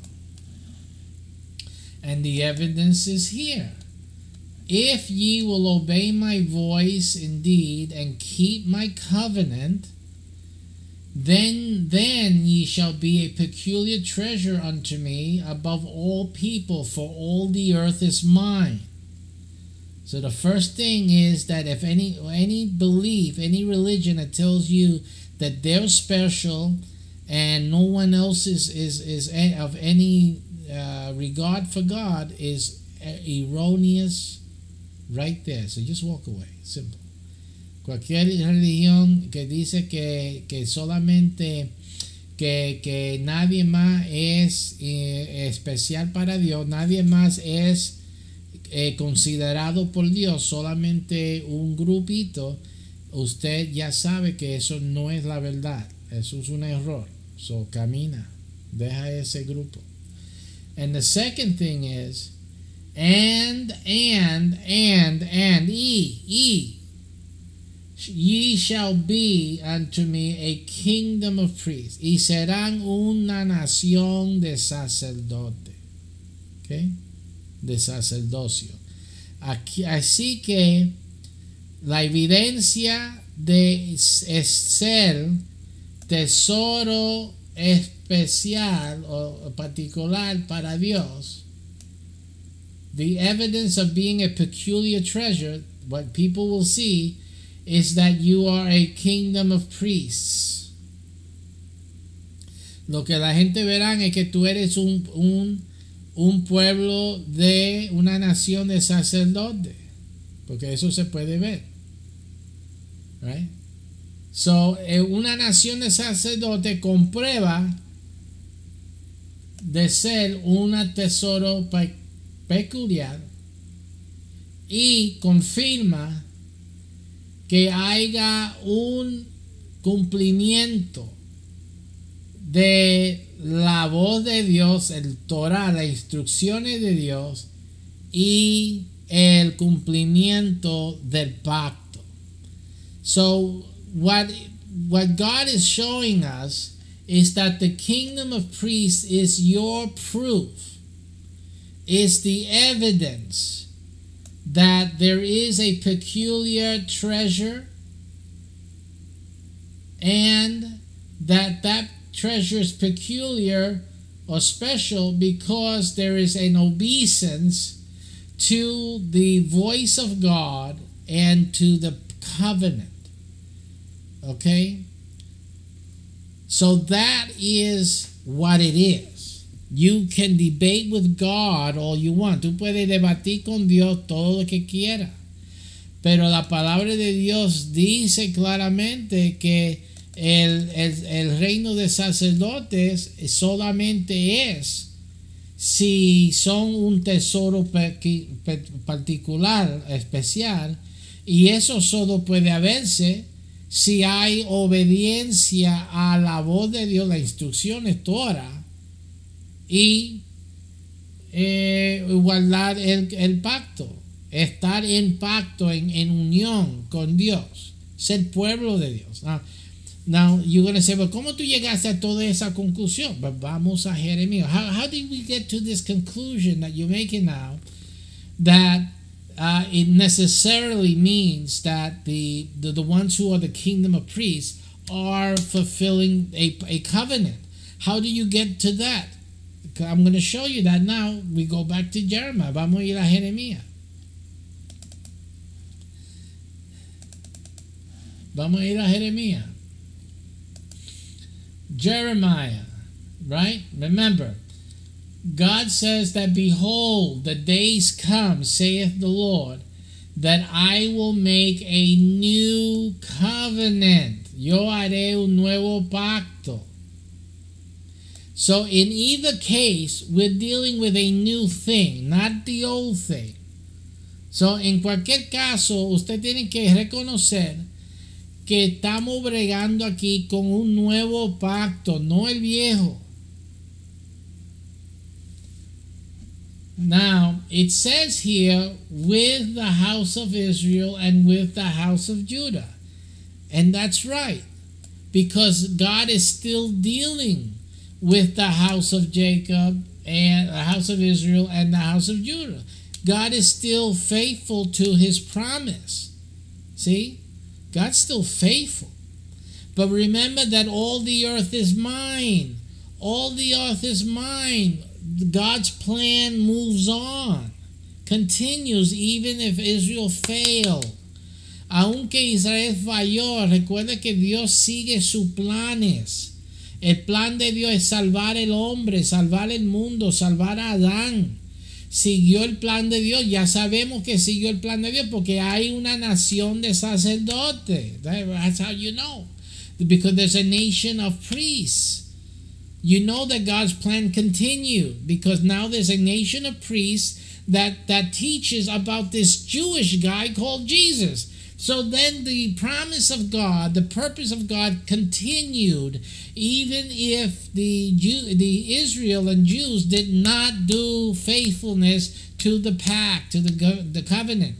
So aunque no fueron fieles eh, Israel ni los judíos al pacto de Dios, vemos la evidencia que Dios continuó su plan de todo modo usando los gentiles y salvando los gentiles directamente, sin todo Israel, con sus apóstoles. Y la iglesia primitiva que alcanzó a los gentiles, Dios siguió su plan de salvar el mundo, punto. Y ese grupo, esa iglesia, demostró la evidencia de la obediencia porque Dios le hizo, la ayuda de Dios, sin, sin Dios no se podía ser hecho no se podía haber hecho. Without God's help, the Christian church could not become kingdom of priests. Yet it became the kingdom of priests because God helped them to be. God gave them victories. God helped the gospel to go across the whole world because all the earth is mine.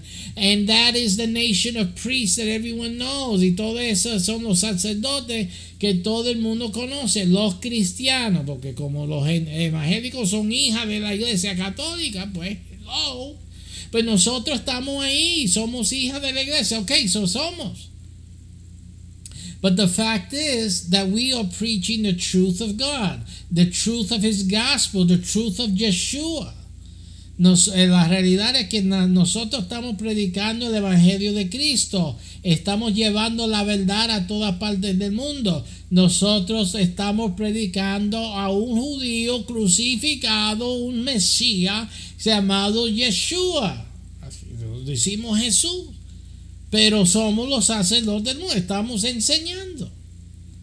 Eso es, eso es punto. Ustedes buscan su detallito, que esto, que lo otro, bla, bla, pero el punto es quiénes son los sacerdotes en nación de sacerdotes. You know you they they want to pick and point pinpoint certain little little things here or his name is yeshua it isn't jesus and all they all try to put these little things that don't make any that, that have no weight in them. It doesn't matter. The what matter is who i'm to get the, now the big hammer here. What matters is who is all the kingdom of priests. Okay That's what matters. ¿Quiénes son el reino de sacerdote? Eso es lo que importa. No si el nombre es Yeshua o Jesus. It's not that if his name is Yeshua or Jesus or what. The, the point here is who are the nation of priests? ¿Quiénes son la nación de sacerdote? Eso es el punto. Y esa es la evidencia. No quien llama Yeshua Yeshua. It isn't who calls Yeshua Yeshua. It is who are the king and the priests. ¿Quiénes son los reyes, los, la nación de sacerdote? No hay que llama Yeshua Yeshua. that's not the evidence. But yet most of the Hebrew root people say that's evidence. See, they don't call Jesus by the, the real name. So that's like all of a sudden that's like the evidence. No, no, the evidence is who are the kingdom of priests. That's what the Bible says is the evidence, not who calls Yeshua Yeshua. No es lo que la Biblia no dice que lo que llaman Yeshua Yeshua son, son los realidad, la iglesia o la verdadera iglesia. La, la, lo que enseña la escritura que es el reino de los sacerdotes. ¿Quién es? Eso es la realidad. So again, if you're going to believe God, if you're going to believe in Scripture, then believe the Scripture. The Scripture provides the evidence of who is right, and the others are simply wrong. Now, that doesn't mean being right, only means that the main information to be saved is contained there. Okay, that's it. So that doesn't mean that everything that the Catholic Church has done or teaches is 100% right. That doesn't mean that. It means that if you follow the basic teaching, believe in Jesus Christ, accept Him into your heart, accept the Lord Jesus Christ, follow His footsteps. If you believe, and accept and walk every day of your life following the, the will of God through Yeshua, through Jesus, letting Jesus grow in you, becoming more and more like Jesus every day and less and less like you are and were, then that is the truth. That is that's taught by Catholics. That is taught by every other Christian church that came from Catholicism. That is the main teaching of Christianity. And what God is saying, the evidence of the peculiar treasure above all other nations is that you are a kingdom of priests. So the evidence is given. The main teaching is preserved. The teaching and the preaching of the gospel is in the hands of the Christian church. And and it, it means that the ones who are teaching the truth, are not, they're more than being Catholic. They're more than being evangelical. So it has nothing to do with being evangelical, being Lutheran, being Baptist, being Pentecostal, being whatever, or Catholic. It has. It doesn't even be about Seven Day Adventists. I'm going to include uh, some of my family members. That has nothing to do with it. Okay, it has to do with walking integrally, with with integrity, following Jesus' footsteps. Esto no tiene que ver con siendo católico, con siendo eh, pentecostal, con siendo bautista, con siendo luterano, lo que sea. Presbiteriano, no tiene que ver esas cosas, esos nombres, organizaciones, lo que ni, ni adventista. Lo que tiene que ver es siendo hijo de Dios, being a child of God, period, which transcends all the labels, que transcende todos los, los, los títulos. That's why it's an error to look at me and say, oh, but, but you, you're a Pentecostal. Hey, listen, I'm a child of God over and above any Pentecostalism. Sobre cualquier pentecostalismo que yo tendré o empecé en el pentecostalismo, el hecho es que yo soy diferente hoy día. Yo soy más que un pentecostal, yo soy más que un bautista, yo soy más que un luterano, yo soy más que, que un presbiteriano.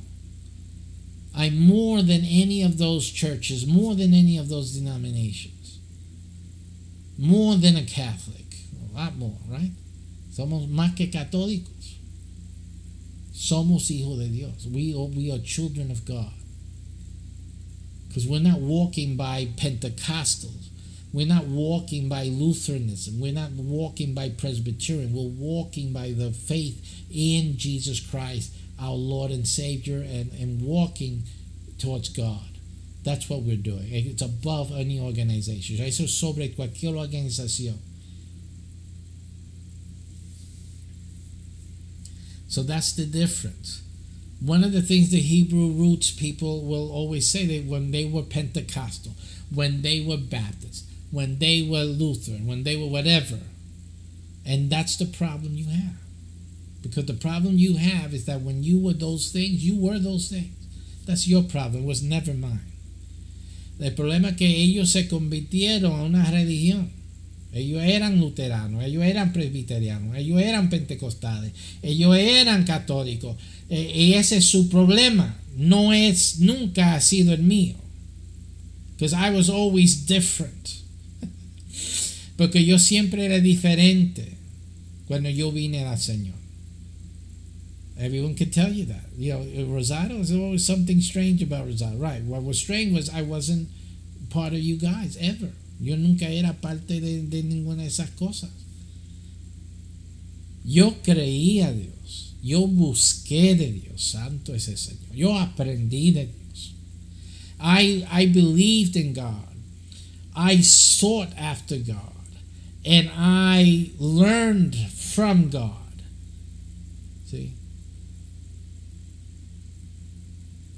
And that's the difference. That's why I never left God. Yo, por eso yo nunca dejé a Dios.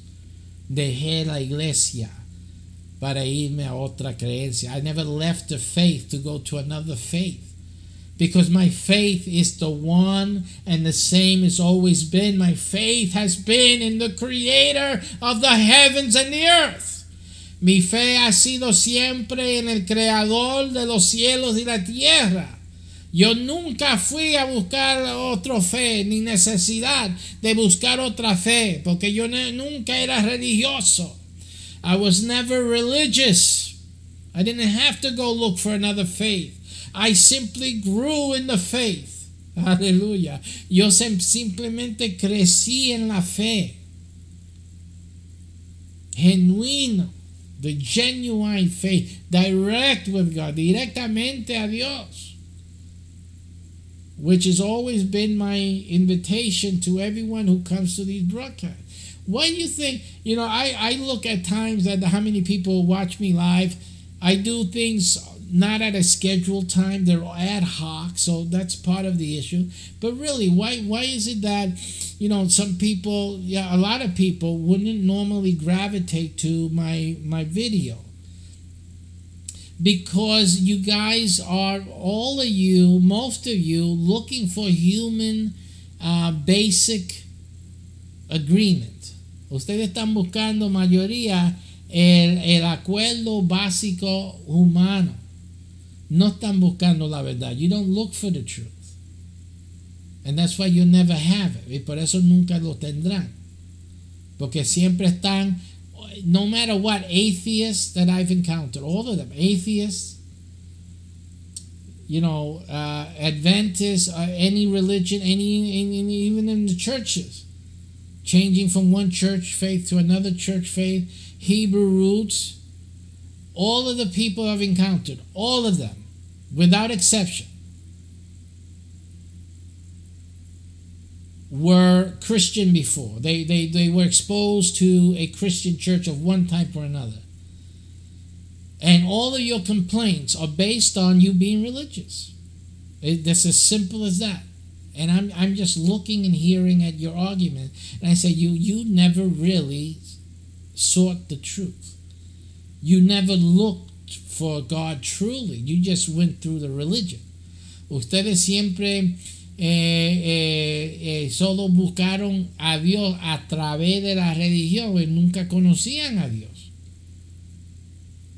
Porque cuando tú conoces a Dios, la religión no importa, no tienen que ver. That, that's how you know. Eh, esa es la razón, esa es como tú sabes y tú conoces. Pero si cuando tú ves a alguien cambiando de iglesia, porque ay, ahí no enseñaban la verdad, aquí esto, you know, yo, usted está buscando, usted está viendo a una persona que no sabe lo que es la verdad todavía.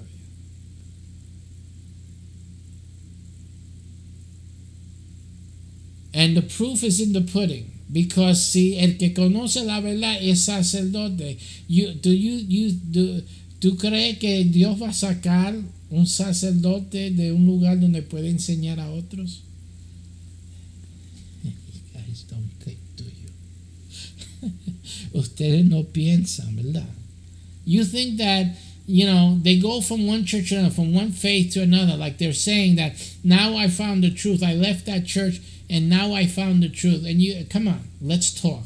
Do you think that God is going to take a priest out of a place where he can teach others? You think God is going to do that?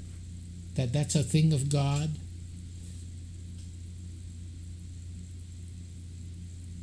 See, that's how you know that they're full of, uh, you know, you know what they're full of. I deal with animals, you know, every day.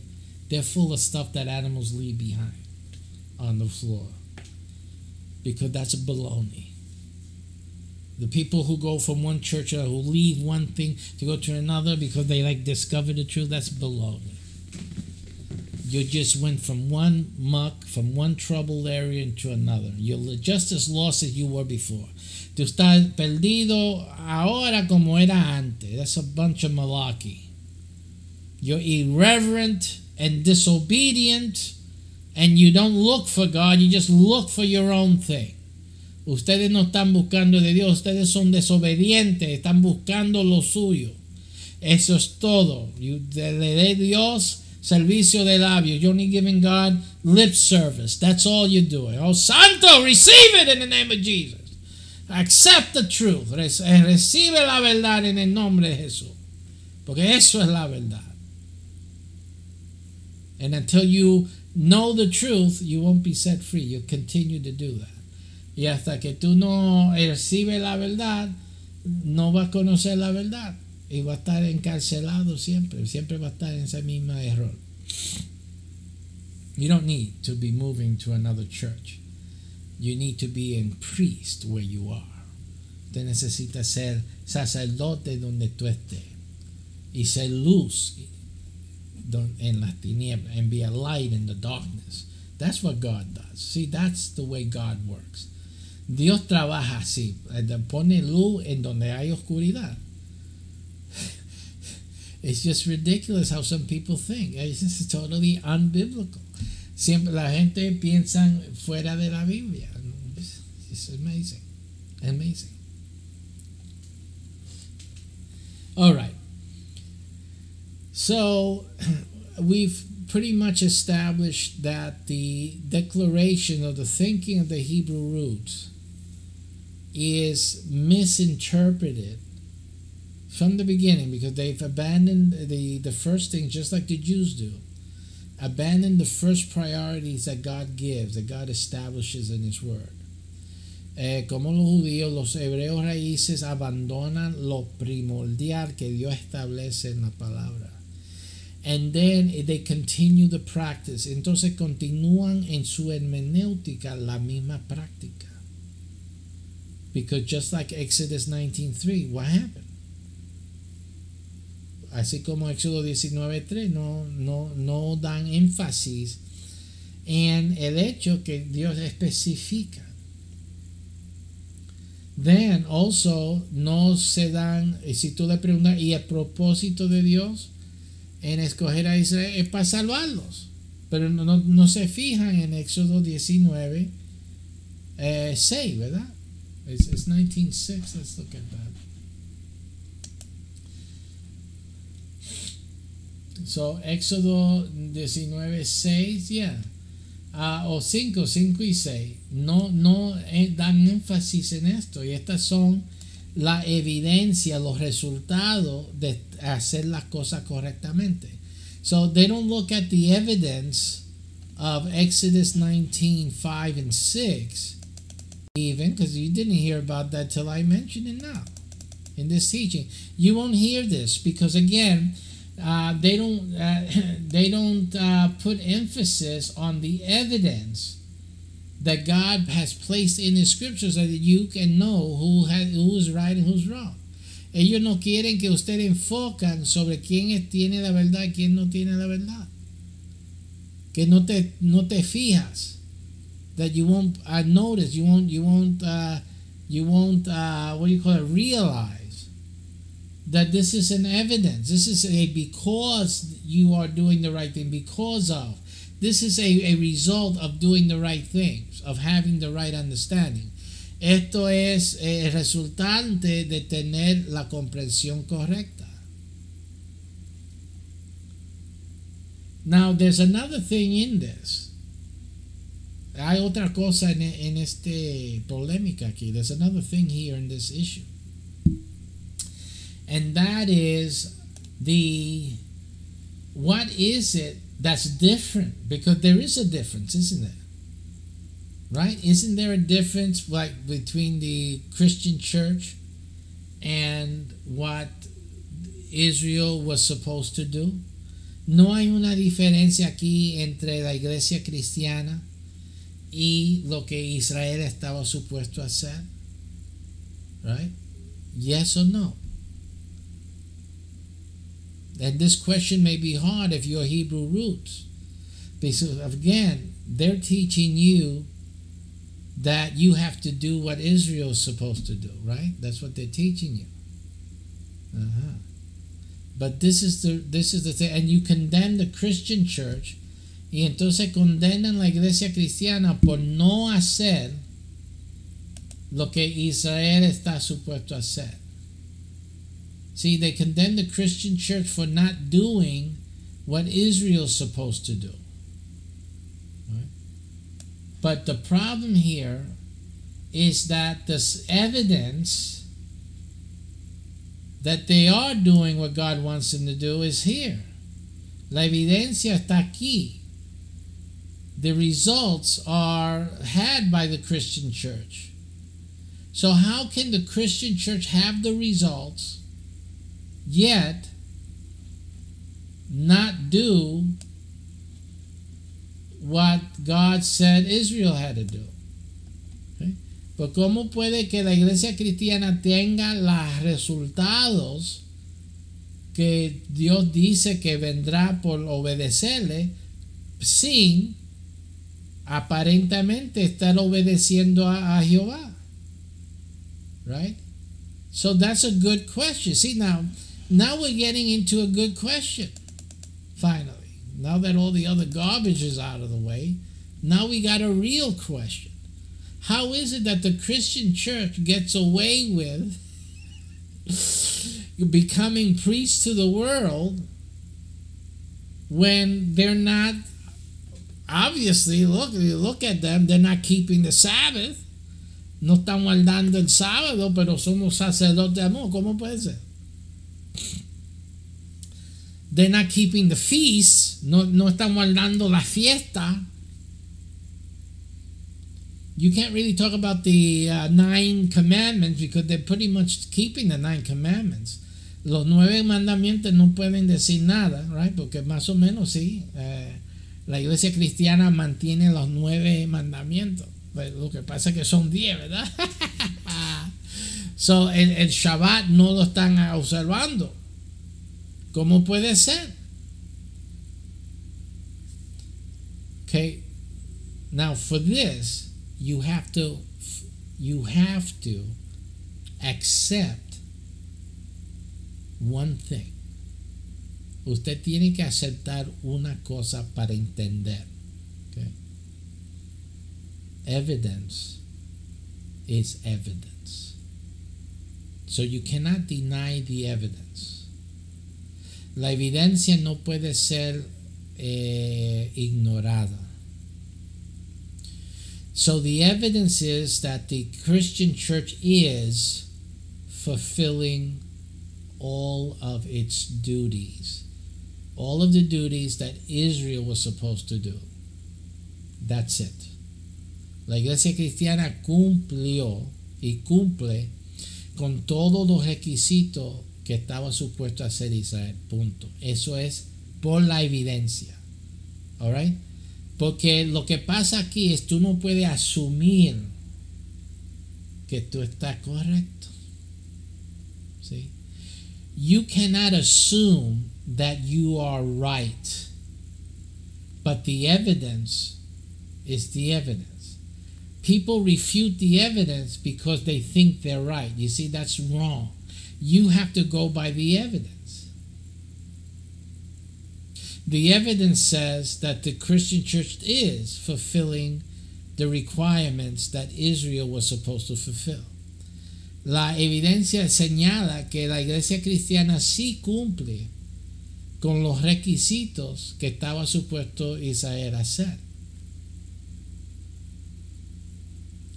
Ahora, pero ¿por qué tú no lo ves? ¿Por qué es que tú no ves que están cumpliendo como usted. Y, vamos a hablar claro de Shabbat. Usted no lo ve. La fiesta no lo está viendo. So we have to speak clearly. We're not looking, we're not, we don't see the Shabbat. We don't see the feast. Why is that? Okay? So that's where we have to focus our attention. Why is that? Why don't we see it? So, number one, let's go back to Jeremiah. Again, the scripture will show you why. So, pay attention to God, because God's going to tell you. Uh, aquí la escritura le va a decir, le va a enseñar la escritura el por qué eso es así. Okay? All right, now vaya Jeremías, vamos a go to Jeremiah again. First of all, Jehovah says that he's making a new covenant. That's the first thing. So it's not the old covenant, it's a new covenant, okay? Es un nuevo pacto que Jehová está haciendo, no es el viejo. How do we know that? ¿Cómo sabemos? Porque el 32 de Jeremías 31 lo dice. No de acuerdo al pacto que hice. Not according to the covenant that I made. So it's not according. What does according mean? According. A chord. Do you know what a chord means? That's where we get in music. If you're a musician, chords. Chords from. What are chords? Chords are a combination of notes that sound good together, that are harmonious together. Eh, el acorde son para los que tocan guitarra, los músicos, piano, eh, de eso viene la palabra acorde, acorde, que son un grupo de, notas individuales que juntos son armoniosos, que, que trabajan juntos, que están en armonía. Okay? So, uh, and in, in terms of people, in accord, is people that are agreeing to do something. So we all we all reached an accord. We all reached an agreement. See, we all reached an agreement to do this or to do that. That's in accordance. All right? Eso es estar de acuerdo, que estamos de acuerdo. Acuerdo viene de accord. Um, and let's see what this, I, I don't get the Spanish here any longer on this one, I guess. No, not here. So, that's what it means. So, entonces aquí, eh, no de acuerdo a, right? Dice en español. So, cuando algo no está de acuerdo con, quiere decir que el nuevo pacto no está de acuerdo con el primer pacto. Es el lenguaje, es el idioma. You know, the language here, it says that the, the new covenant is not in agreement with the first one. It is not according to the first one. So in in in in certain aspects it is different. En cierto aspecto es diferente. See? So most of the people that I've I've debated this with, muchas de las personas que yo he debatido este punto, ellos dicen, pero nada cambia la ley. So they'll argue that nothing changes the law. And the law, remember the law are instructions. You got you to understand the Bible says instruction, not law. Law is the way we interpret instructions. Instructions in Hebrew. And when it's regarding to this set of so called rules, then we interpret or read instructions as law. That's the way the Hebrew works. But the word itself means instruction. In other words, it doesn't never have to mean law. It just has to always be instructions. The people are not understanding this. This is part of human weakness and human lack of understanding. El problema aquí es la falta de comprensión humana que siempre interfiere con el bien entender. La palabra Torah es la palabra que se usa para ley en la Biblia. Es la misma palabra Torah que usa para instrucciones, cualquier instrucción. Dios dice a Abraham, vaya por aquí, dobla por allá, siéntate, haga su necesidad y come pan. Eso es Torah. Es Torah, son instrucciones. Los diez mandamientos son instrucciones también. Porque es Torah. Todo es Torah. So, hay que entender que en el hebreo Torah es instrucción, no ley. Solo se usa ley porque la, el entendimiento de los judíos, viene de los judíos, es que esto era ley, estos son códigos, estos son reglas. Pero la palabra que Dios usó siempre en hebreo quiere decir instrucción. Siempre es instrucción. Cualquier ley, incluso la ley de cualquier ciudad, son instrucciones. el propósito de toda ley es instrucción. The purpose of any law and every law is instruction. Even your city laws, your governmental laws, you know, Congress, uh, Constitution, all the laws there are in the land, their purpose is educational. It isn't just, it isn't uh, just an obeisance. It isn't the purpose. The purpose is to educate people how to live and be in peace. That's the purpose of the law. You want to look at it, you look at it from a, a, a criminal perspective, then the law is there to put you into jail. You better not break it. You see, that that's a, a perspective that you have. But in actuality, the law is made to instruct the population so that the population learns to live in harmony. What is right and what is wrong? Simple, it's a learning tool. es una es para enseñar al público qué es bueno y qué es malo.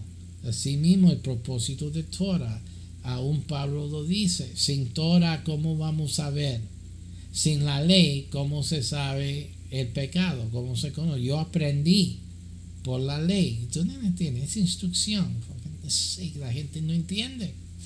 Que ese es el problema. so there's the problem is that the people not understanding what the purpose of the law is. It's always instruction. That's why Torah is instruction. All right.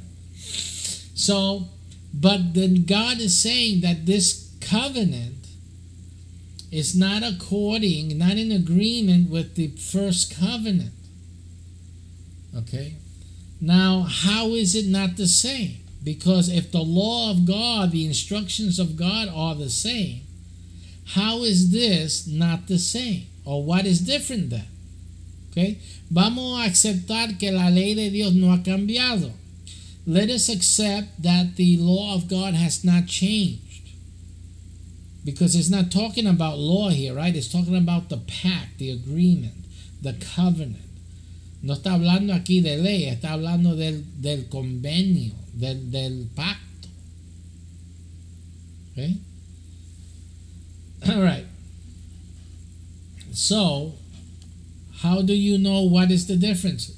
Again, by the evidence. God provides evidence. And that evidence will show you something else true, another truth. But we'll, we'll look at it. Let's look at the evidence because the problem here is that God provides evidence, but people don't realize that it's evidence. It is actual evidence. Dios está proveyendo aquí evidencia, pero que la gente no está reconociendo que es evidencia. Pero vamos a verlo.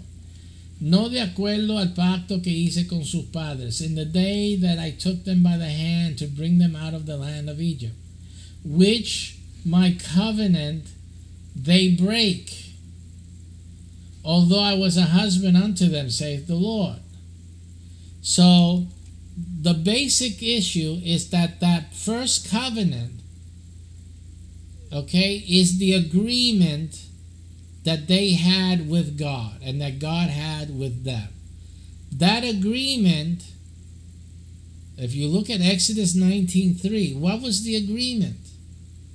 That if you hearken unto my voice, my what? my voice. What was his voice telling them? Instruction. Si ustedes oyeren mi voz, obedecieran mi voz, ¿qué, ¿qué, contenía la voz de Dios? Sus instrucciones, su Torah. El, el pacto tiene que ver con guardar su Torah, sus instrucciones. So the covenant was to keep his instructions. Look at it again. Vamos a verlo otra vez. Now, therefore, if ye will obey my voice indeed, obedecer mi voz, obey my voice. What is he speaking? He's telling them, and he's going to tell them what? The Ten Commandments. The law is starting right here, right? If you obey my voice and keep the agreement, y, preservar y guardar el pacto, then you will be a peculiar treasure. You, are you understanding? So you see que es, guardar el pacto involucra obedeciendo Torah. Okay?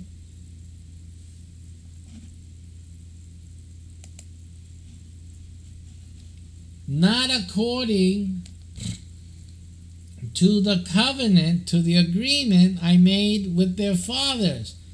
No de acuerdo a ese pacto. So in, the bottom line is that that whole agreement, including Torah, obeying his voice, has been changed. Not the law. The law doesn't change. The agreement has changed. And again, we're going to see the character, uh, the character of that change. Vamos a ver el carácter de ese eh, cambio. Now, why does God have to change the old covenant? ¿Por qué Dios tenía que cambiar el primer eh, pacto? Con sus instrucciones, con su Torah. e, ese de acuerdo. ¿Y qué era de acuerdo? I mean, what was the agreement? Look at it again. Be careful here. Uh, you you guys have to be careful and, and see what God is saying. Ustedes tienen que tener cuidado y oír lo que Dios dice. No de acuerdo al primer acuerdo. ¿Qué fue el primer acuerdo? No, no guardar mi acuerdo. ¿Cuál era? Obedecer mi voz. It was to obey my voice. It was, of course, the first pact, the first covenant you had to keep it. He don't want you to break it, but that's not what the covenant is. You know, you don't make a contract that says don't break this contract. So, but, but what are we supposed to do? Don't break the contract. What am I supposed to do in the contract? Don't break the contract. That's what these guys think. Eh, estos judíos, estos raíces hebreos creen que el contrato, el acuerdo es no romper el contrato, no romper el contrato, no romper el pacto, no romper el pacto. ¿Qué debemos de hacer? No romper el pacto. Eso no es el pacto. That's not the covenant. The covenant is obey my voice. Aquí dice la escritura, lo que era el primer pacto era obedecer mi voz, mis instrucciones, obedecelas. See, God is saying, obey my voice. I'm giving you these instructions, obey them. That was the context of the first covenant, which they break. El contexto del primer, del primer eh, pacto que violaron ellos era obedecer mi voz. Okay, you, you, do you understand that? Very clear. Which they break. So the results, now look at what God is saying. Now, you see, give God some credit here. Give God some credit. See, God is saying that they broke the covenant. Okay? They could not obey his voice. Indeed, no obedecieron su voz. Eso es lo que Dios está diciendo. So, ¿y qué es la respuesta de Dios a eso? No podían obedecer mi ley, obedecer mi Torah, right? Ellos no podían obedecer mi Torah. They could not follow his Torah. They could not follow the law. Why? Because it was his voice. Because they could not obey his voice. They did not obey his voice and therefore they broke his covenant. No podían obedecer su voz. Y por eso rompieron, violaron su pacto. ¿Quién, ¿Quién también no obedeció la voz de Dios? Who also did not uh, uh, obey the voice of God? Let's give you a second. Right? That's why we start at the beginning so that we can have understanding. Por eso empezamos desde el principio para que haya entendimiento. ¿Quién también no obedeció lo que Dios dijo? who also did not obey what God said? Adam and Eve. Adam y Eva. Okay? So you have Adam and Eve. God told them, don't do this. They do that. Adán le dijo a Adán, Dios, no haga esto. Y eso mismo hicieron. Entonces tenemos Israel. Then we go to Israel. God tells them, don't do this, do that. And they also break the covenant. Y así que Dios dijo a ellos, no haga esto, no haga otro, a Israel. Y rompen otra vez. Y rompen y violan su pacto. Do you see a pattern? Do you need more examples? ¿Usted está viendo un patrón ahí? ¿Necesitamos más ejemplos? So what does God, how does God fix this? ¿Cómo es que Dios arregla este problema? Because he fixes it. He says, I will make a new covenant. Yo voy a hacer un nuevo pacto. No como aquel pacto. So I'm not making it according to the covenant that I made with their fathers. So what was the character of the covenant of the covenant they made with the fathers. ¿Qué fue carácter del pacto que hice con su padre? No haga esto y haga esto, aquello. Don't you see that the covenant was the character that is different is that now God is not telling you do this and don't do that. And this I will, will prove it right here. Y eso lo vamos a probar aquí. Evidencia. Again, the evidence. Okay, but this shall be the covenant that I will make with the house of Israel. Pero esto será el pacto que haré con la casa de Israel. Después de aquellos días, dice el Señor. After those days, saith the Lord. I, look at it very carefully. I know these words may be hard words for you to understand. Yo entiendo que estas palabras pueden ser durísimos para comprenderlas, pero suavemente. Y yo no estoy siendo eh, arrogante, es que yo no, este que los hebreos raíces siempre niegan lo que dice aquí es muy claro. Por favor, ponga atención. Yo. Ay, read it in your Bible. Léelo en tu Biblia. No, no cree esta Biblia aquí. No cree. Duda, dúdalo. Léelo en su Biblia. Léelo en hebreo, en el contexto hebreo, por favor. Please read it in your Hebrew context. Do not believe the Bible that you see here. Please. Do not doubt it. Doubt it. Please. Lord have mercy. Doubt it. Read it in Hebrew. Léelo en hebreo. Yo. Yo. Yo. I'm having fun with this. Yes. Sorry. I. I I, not other people, not other, not churches, not religious beliefs, not teachers on videos. I, I, huh? I will put my law in their inward parts not that you will hear it from other people telling you that you're supposed to keep the Sabbath.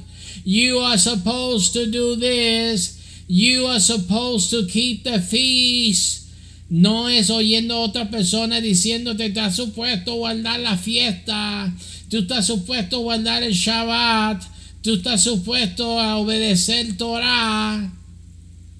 Yo yo, yo, I, I, I. I'm sorry, I'm repeating this over and over and over again, but I we need to find out how many times it takes for you to read what it says in whatever language you understand so that you can understand that it's not you're not supposed to do things because other people tell you.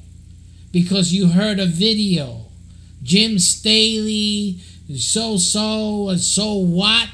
You're not supposed to be following the uh, obeisance uh, dictated by other people uh, telling you that you're supposed to do this law and that law and coleslaw Usted no está supuesto a estar siguiendo lo que dicen otra gente eh, que tiene que obedecer esta ley, el otro ley y la, y la lechuga esa que se hace con la cremita que me encanta tanto.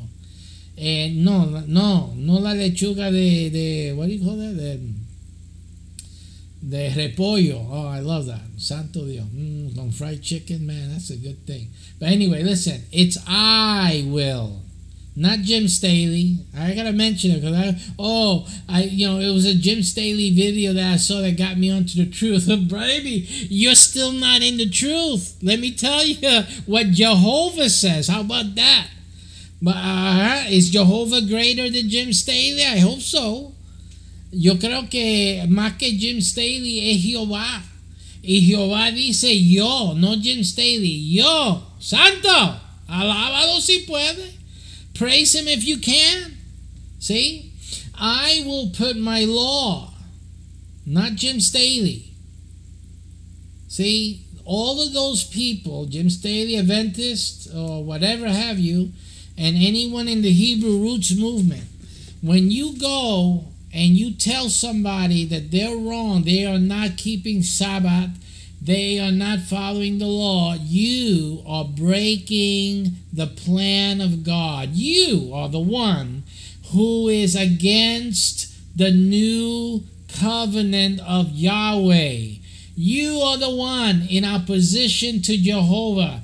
Tú eres el que te hace enemigo a Dios con promover el primer pacto, diciendo a otros que deben de obedecer la ley, porque eso ya no es la realidad, no es la verdad. Okay? God says, I will. And anyone who is telling you to do that is against the work of God. They are working against God. I'm going to show you now. So hold on to your seatbelt because this is going to get very serious in a moment. I will put my law in their inward parts and write it. I will write it in their hearts. You don't have to tell them what the law of God is. It will be written in their hearts. What is the heart? ¿Qué es el corazón? Va a ser escrito en el corazón. ¿Qué es el corazón? El corazón es los deseos que ellos desean. You, don't you see what God has done?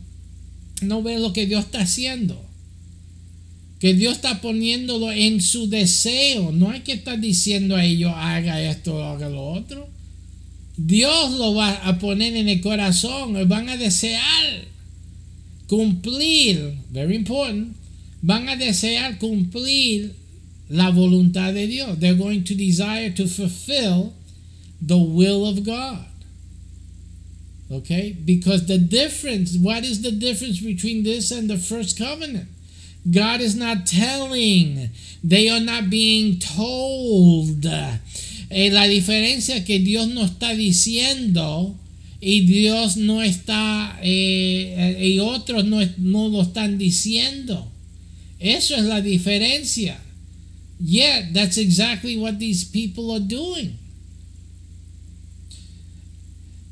Now, the result of not being told to follow the law and to keep the Sabbath, el resultado de no eh, ser eh, dicho o, o, que no se le dice a uno que debe de seguir la ley, obedecer el Shabbat y seguir las fiestas o guardarlas, es que ese resultado que es and will be their God.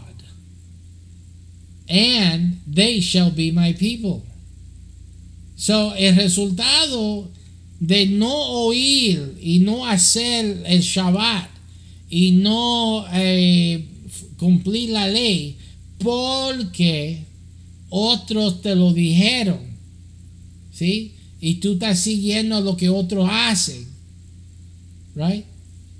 El resultado de no hacerlo así y dejar que Dios lo pone en su corazón y lo, eh, y lo escribe en su corazón y lo pone en su mente, es que entonces tú serás pueblo de Dios y Dios será tu Dios. Eso es el resultado. Si no es así, no Dios no es tu Dios y tú no eres gente de Dios pueblo de Dios.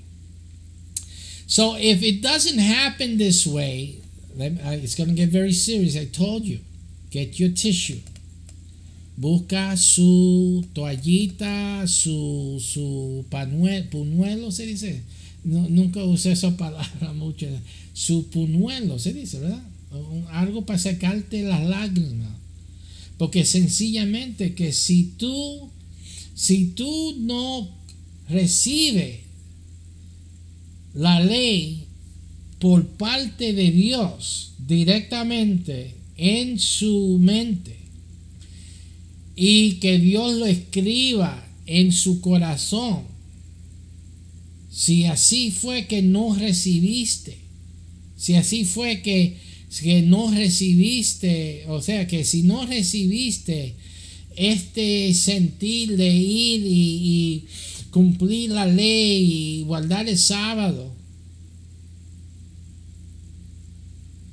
porque usted lo escuchó a otro que te lo enseñó y otro diciendo y el video de este y el video de aquello diciendo ustedes tienen que obedecer el Shabbat, tienen que obedecer la ley. Si eso fue la manera que hoy día tú estás observando estas cosas, Dios no es tu Dios. De acuerdo a Jeremías 31, 33. Y no eres pueblo de Dios de acuerdo a la palabra de Dios. According to the word of God, you are not the children of God. You are not, you don't belong to God. You do not know God.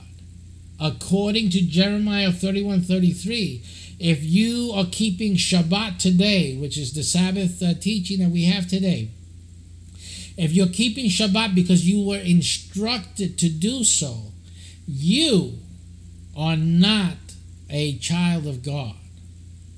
You do not know God, and you are not the people of God.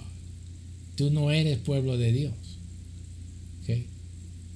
Because you have chosen to follow a broken pact, a broken covenant, which God has rejected.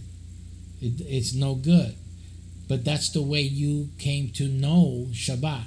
That's the way you came to know the law. That's the way you came to know the feasts. Esa es la manera que tú aprendiste Shabbat, la ley y la fiesta. Por otro, porque otro te lo enseñó. Pero eso no es el nuevo pacto. Ese pacto es del viejo, eh, el primer pacto que está violado. Y que no trabajó. No trabajó con Adán, no trabajó con Israel. It didn't work with Adam, it didn't work with Israel. God made a new pact, a new covenant. Now, you say, well, that's your interpretation, Pastor. No, it isn't. Never think that when I teach you something, it is my interpretation. Let us continue to read. Okay, see? I get you guys all the time. Yo aquí te tengo bien agarradito cada vez, mijo. And look at what Yahweh says. Esta es la evidencia. 34. And they shall teach no more. Listen again. Ah, otra vez. Let's go. Y no enseñarán más. Y no se enseñará más. Léelo, 34. Vamos, el pañuelo. Usa ese pañuelo. No, no deja lágrimas caer sobre las, las hojas. Don't let the tears drop on the Bible. Read it in your Bible. And they shall teach no more.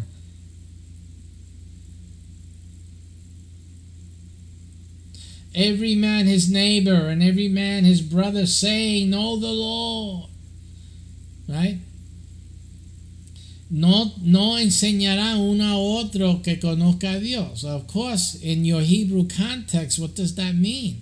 It means that they're not telling you to obey this and obey that.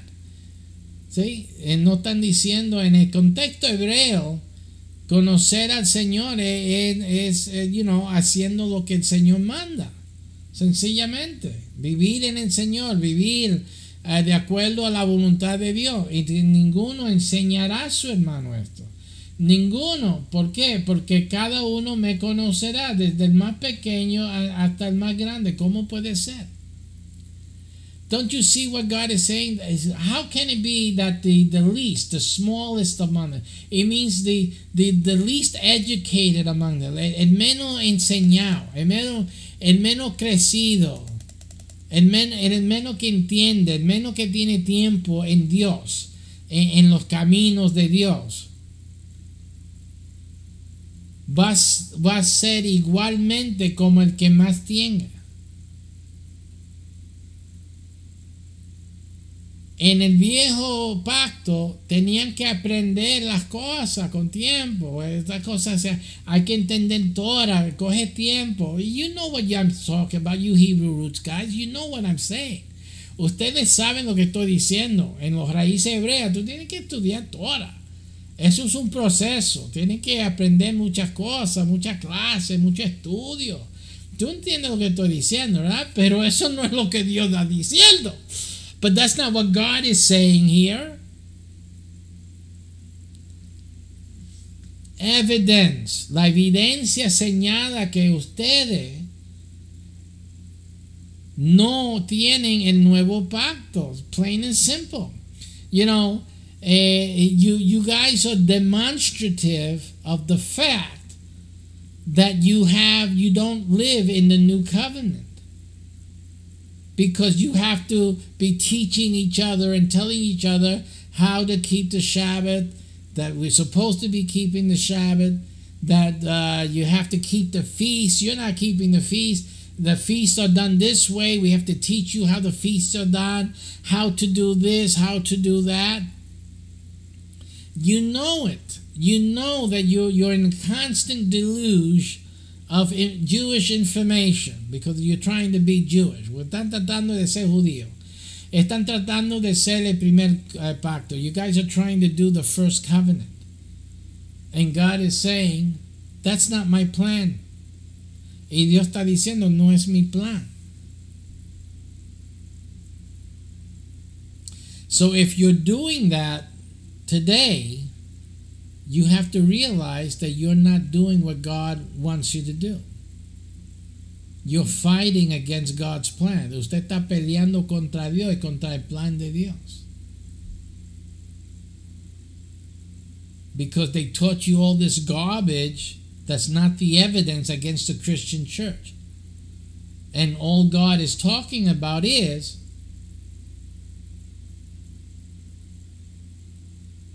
the Christian church. Y lo que Dios está hablando aquí es de la iglesia cristiana. Porque aunque este pacto es para Israel, even though this covenant is for Israel, but remember, why? Because they messed up the first one. It doesn't mean that all the earth isn't mine. No quiere decir que toda la tierra no es mía. Did you understand that? That's why the evidence of the priests of the world is in the Christian church.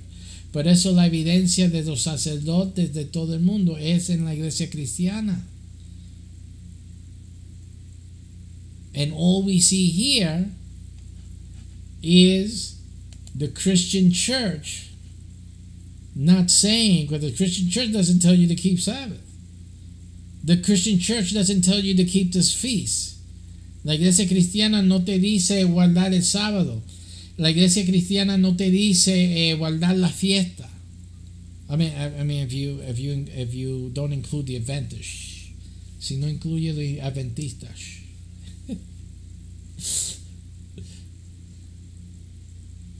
Porque la iglesia cristiana está cumpliendo con el hecho que son los hijos de Dios por fe. Punto.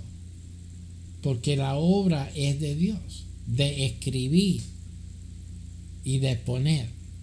See, the Christian church is teaching that the work of salvation belongs to God, Jehovah.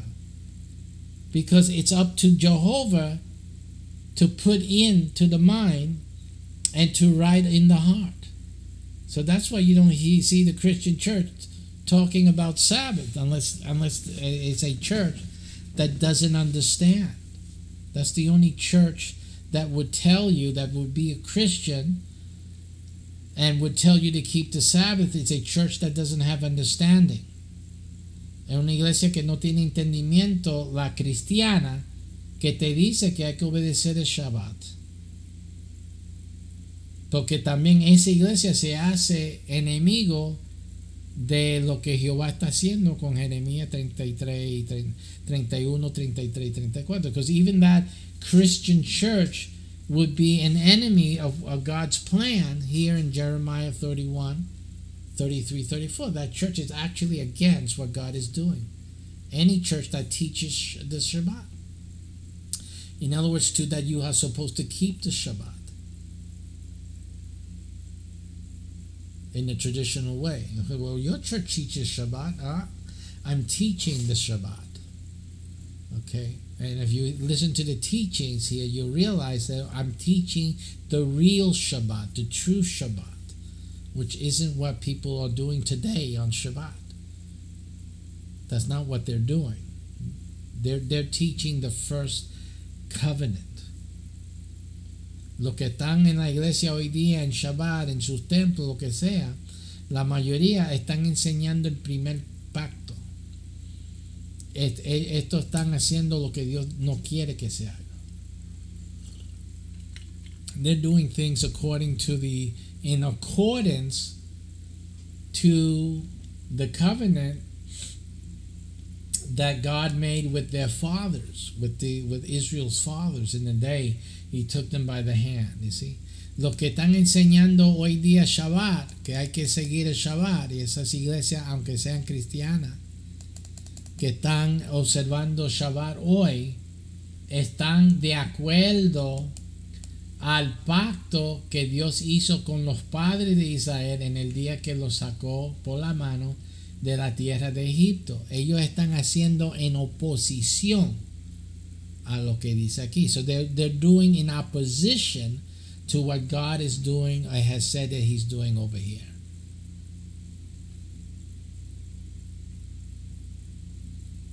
See, who's going to be watching this teaching for three hours? Incredible, right? ¿Quién va a ver esta enseñanza por tres horas? Because now I'm looking, I've been here for three hours in this class. That's one hour more, but God has given me strength because usually at two hours my voice gives. But today He's giving me strength to do this class. Praise God. Praise the Jehovah. Alabado sea Dios, porque siempre mi voz se va en dos horas. Dos horas es mi límite, pero esta no hoy. Esta verdad, Dios me está, oh my goodness, He gave me that voice, boy. And you can hear that my voice was cracking before, right? So that is the reality. This is the evidence. Esto es la evidencia de la escritura. See? So you can choose to ignore the evidence and then you you you risk what you're risking. Let me show you what uh, let, let me before I go there to finish, I'll be finishing with that. Um, so basically, I want to focus a little bit here on the difference. Remember what the difference was, right? Recuerda la diferencia. The new covenant is not what? It's not God speaking to for you to obey. That's the difference. Compare. I will put my law in their inward parts and write it in their hearts. Yo escribiré mi ley en su mente, oh, pondré mi ley en su mente y lo escribiré en sus corazones. Compara con Éxodo. Si obedecieras mi voz. ¿Sí? So when you compare it to the Exodus 19.3, the instruction, Torah, God says, if ye will obey my voice. See the difference? So the difference was that the requirement was that the people obey God. You have see that's what God said. We have to obey it, the law. We have to obey what God said. See that? And the difference in the new way is that God puts it in our heart and in our mind. So it's not an issue of obeisance.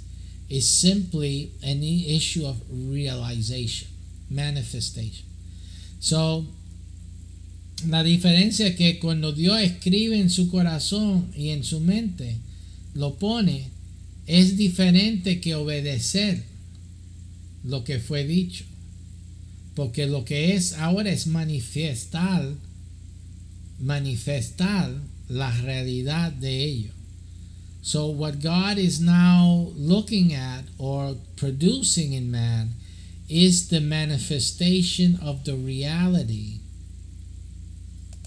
of the purpose for which he gave the law in the first place. So así que es la realización, which is what is understanding, is what it is. Right? He's talking about the mind. And then the desires in the heart. Así que what, what's the formulation? What's the process? It's called understanding. It's called learning. I say, but before it was just obedience. There's no learning there. There's very low level learning, if anything.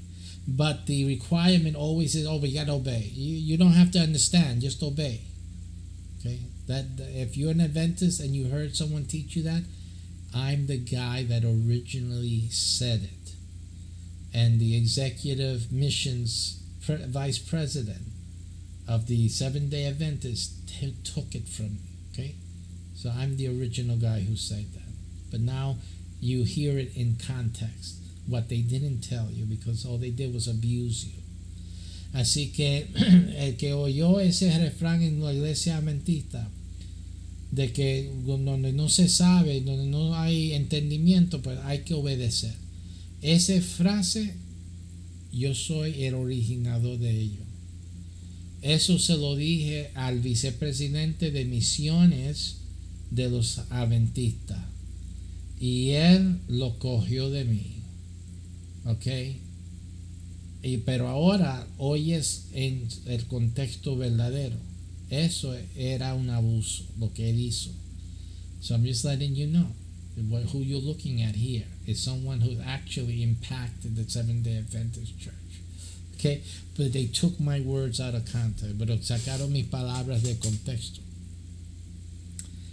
Right, because here obedience was part of the first covenant.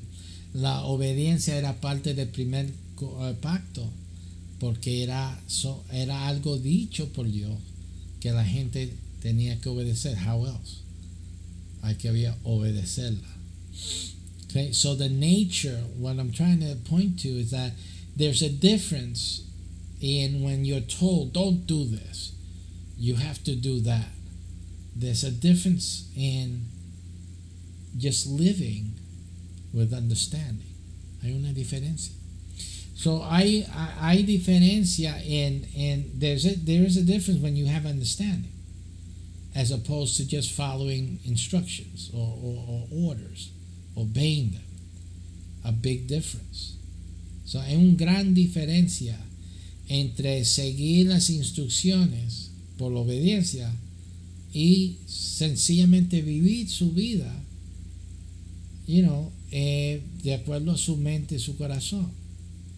Hay gran diferencia. Ahora, the one who's following the instruction line by line is going to look at the one just living his life and will always say, You're not doing this. This is the way is that one, two, three. Right?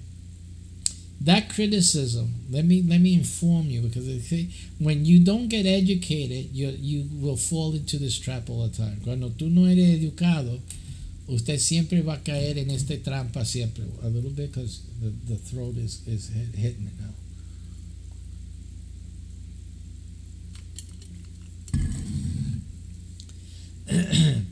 Let me give you from the perspective of mu music. Dame usar un ejemplo de la música entre la música. Yo soy compositor. I'm a composer of music, okay? De música orquestral. I can compose orchestral pieces, okay? Orchestra, an orchestra, drum, boom, boom, boom, boom, boom, and trompeta, pa, pa, pa, pa, pa, pa, you know, and, violines y arpa y todo lo demás, right? Yo puedo hacer eso y crear música de la, esa forma magna, okay? Yo puedo hacer, yo, yo conozco hacerlo y fui enseñado en eso también. So I was uh, given some instruction in creating orchestral pieces and whatnot. But anyway, in so in in in the process, I learned a truth. En, en el proceso aprendí una gran verdad y, y es que cuando empecé el proceso me enseñaron el canon. Now, y eso es tradicional en la música. Esto ha sido cierto por todas las épocas cuando eh, desde la música escrita que existía, el canon era lo principal y lo primero, primordial, lo primero que se enseñaba. So everyone learning music throughout all history had to learn the canon as one of the first things you learn. You, you first learn the canon. What is the canon? Canon means rule. So that's how people start to learn. A musician and a musical a composer begins to learn how to write music and how to compose music. Because the first thing is that you have to learn the succession of notes okay and and be able to make music and make it sound good. So the whole point of the canon was to change the notes but have everything sound great still. That's the really it's the exercise of making music beautiful and maintaining its beauty. That is the main purpose of the canon. So el canon el, el principal propósito es es de cambiar las notas y mantener armonía es la, la, la, enseñanza básica del canon. Y por eso es importante que todo estudiante de música aprenda el canon. Okay? Son las reglas. Now, when you when and what is the canon? I'm not going to play one for you an example, but I'll, I'll it. It's the canon you've all heard of. You heard you you all heard the canon one way or another, and basically it's, it sounds something like this. Right?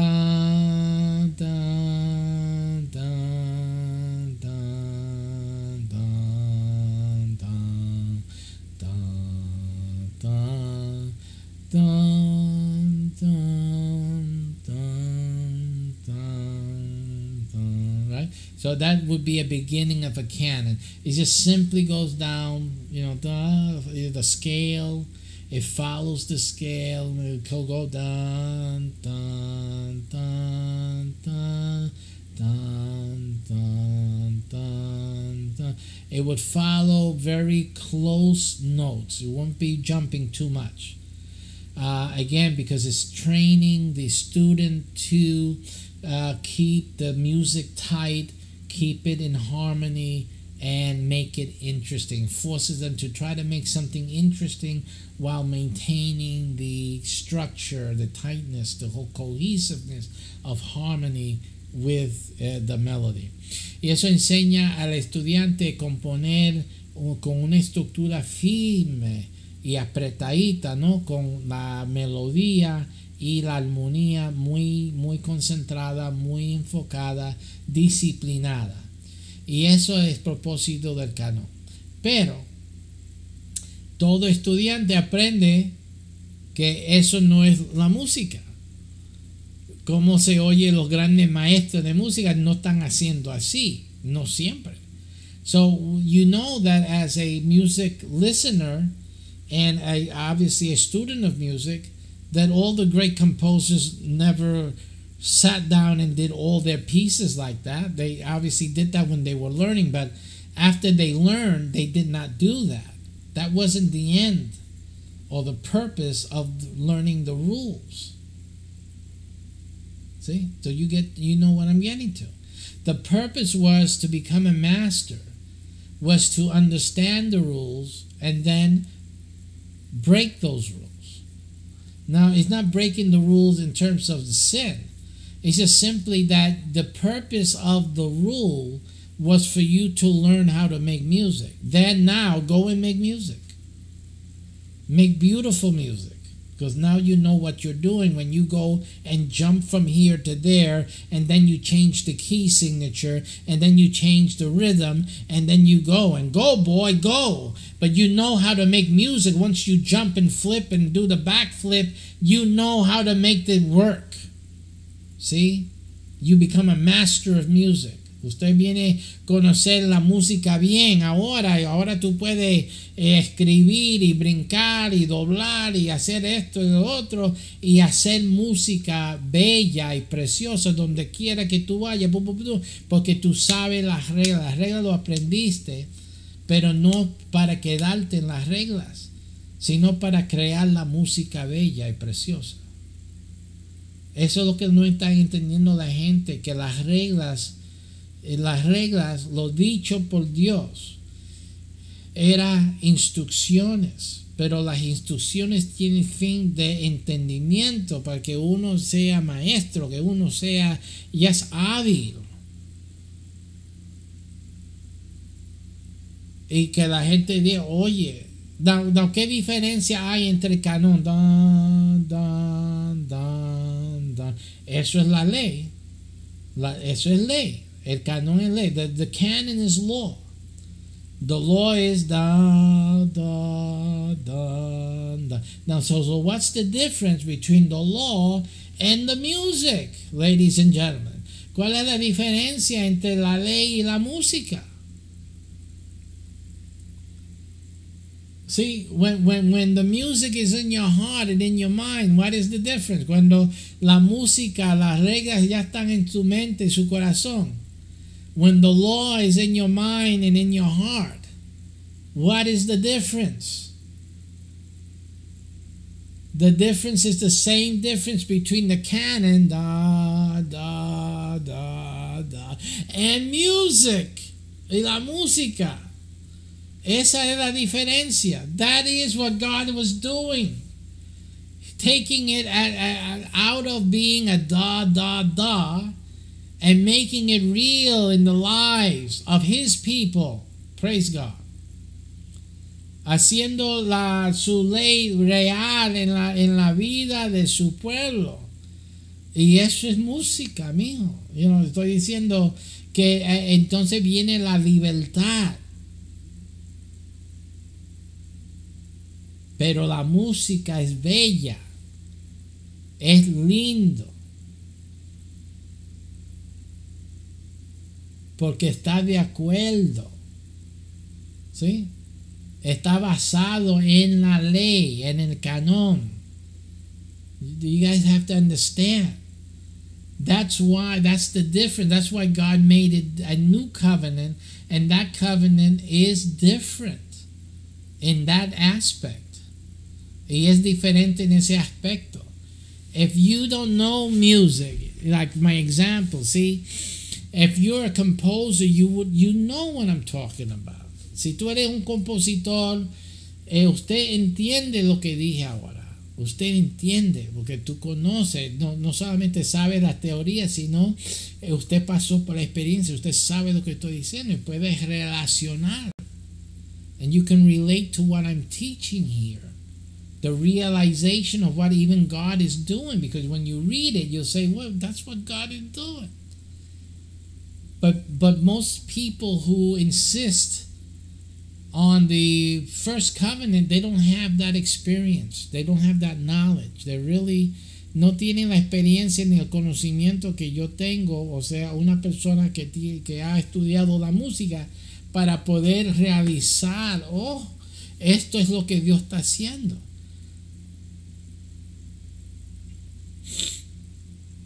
Because you begin to see that it's an issue of understanding here. That's what God did. He He took it out of uh, out of obeisance and put it into understanding, and there are going to be differences, manifest differences, y va a haber eh, diferencia manifiesta entre una persona que sigue regla y una persona que es maestro.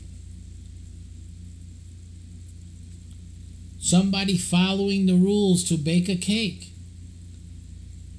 as opposed to a, a cook, a chef, who has his masterful in cake and baking cakes. There's a difference between those two cakes there. Hay una diferencia entre esos dos bizcochitos, desde el profesional y de uno que sigue las reglas, la ley. Va a haber una diferencia. ¿Sí? So that, that's the thing. And then eh, el, que sigue la, la, regla dice, oh, pero tú estás echando, estás echando mucha azúcar, que esa otra cosa que está echando. Eso no es lo que dice la instrucción. Yo soy profesional. Yo sé lo que estoy haciendo. You know. So again, you see, that that's the difference. And it's true about in everything in life. That when you're a professional, you're a master, you're doing things that the um, the guy following the rules says why are you doing that how is it you do, you're doing that and uh, you know you're not following these rules or you're not doing it this way. You say, I am doing it. You just, you're not realizing this is just a guide. See, but where the mastery comes in is what, and what I'm doing. But you have to do that for you have to learn. That's how you learn. You follow the rules. But once you know, then you know. See? Así que es, ese es el, el punto. La gente no está entendiendo. Uh, they, they're not understanding that God is giving basic instructions and they're not taking it as instructions, they're taking it as a law, and that's it. But then God is saying, Well, listen, I have a new covenant. If you don't understand anything, can you understand that I will put in their hearts, in their inners, and write on their hearts? Can't you understand that simplicity? Because that's pretty simple language.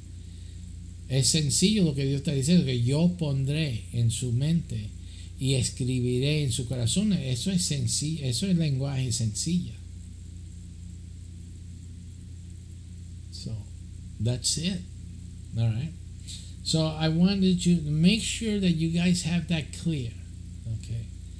But then let's look at the to finish.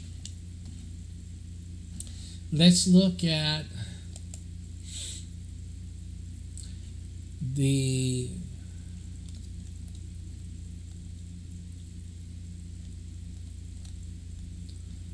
let's look at uh, Galatians.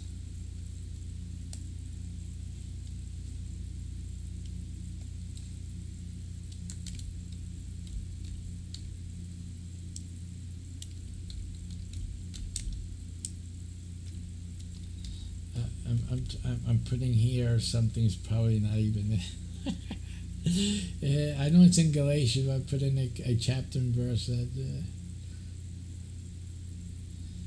and it's probably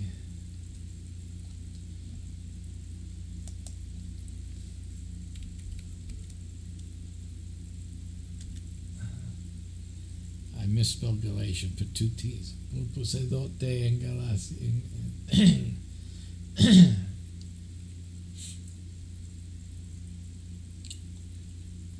okay, so uh, nah. all right. So let's look for.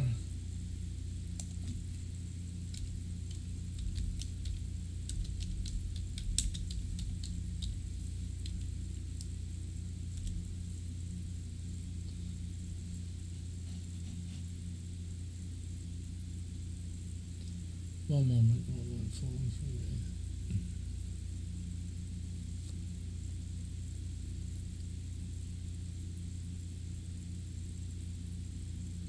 there. Ok, Galatians 5, 4. Vamos a ver Galata, Galata 5, 4.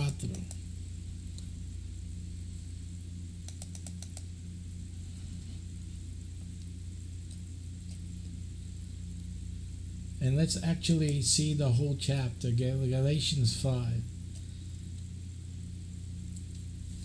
It says here, Stand fast, therefore, in the liberty wherewith Christ. Remember the liberty of, of the musician who knows what they're doing, the liberty of the chef who knows how to bake that cake and make it all so good.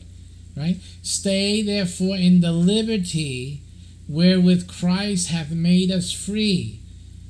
You know, manténgase en la libertad del, del maestro, del, del, cocinero profesional, y que sabe la, la, ley, sabe el canon, pero él sabe hacerlo bien, dulce, bien hecho, que aunque ya después de empezar con la ley, con las reglas, él eh, ya entiende el cocinar. Es una ciencia y una arte. Therefore, the liberty wherewith Christ hath made us free, and be not entangled again, y no volvéis otra vez al yugo de, eh, de eh, ¿cómo se dice eso? De esclavitud. Behold, I Paul say unto you. Now this is this deserves another hour too, which I can't give because my throat is, is going to give. No puedo dar aquí otra hora. But look at what he says. Remember, the main premise, and this reminds me of where I wanted to go next. Yes, it was what is it to be in Israel? What is it to be Israel? ¿Qué es ser Israel? Okay? The main one of the main things of being Israel was to be circumcised. See, because that's not that that's the physical reality. What is the physical reality of Israel? Get circumcised. Eh, eh, la realidad física de Israel era ser circuncidado. Para ser parte de Israel, you had to get circumcised. That's how you show that you were Israel, that you joined with the people of God. You had to get circumcised. Okay?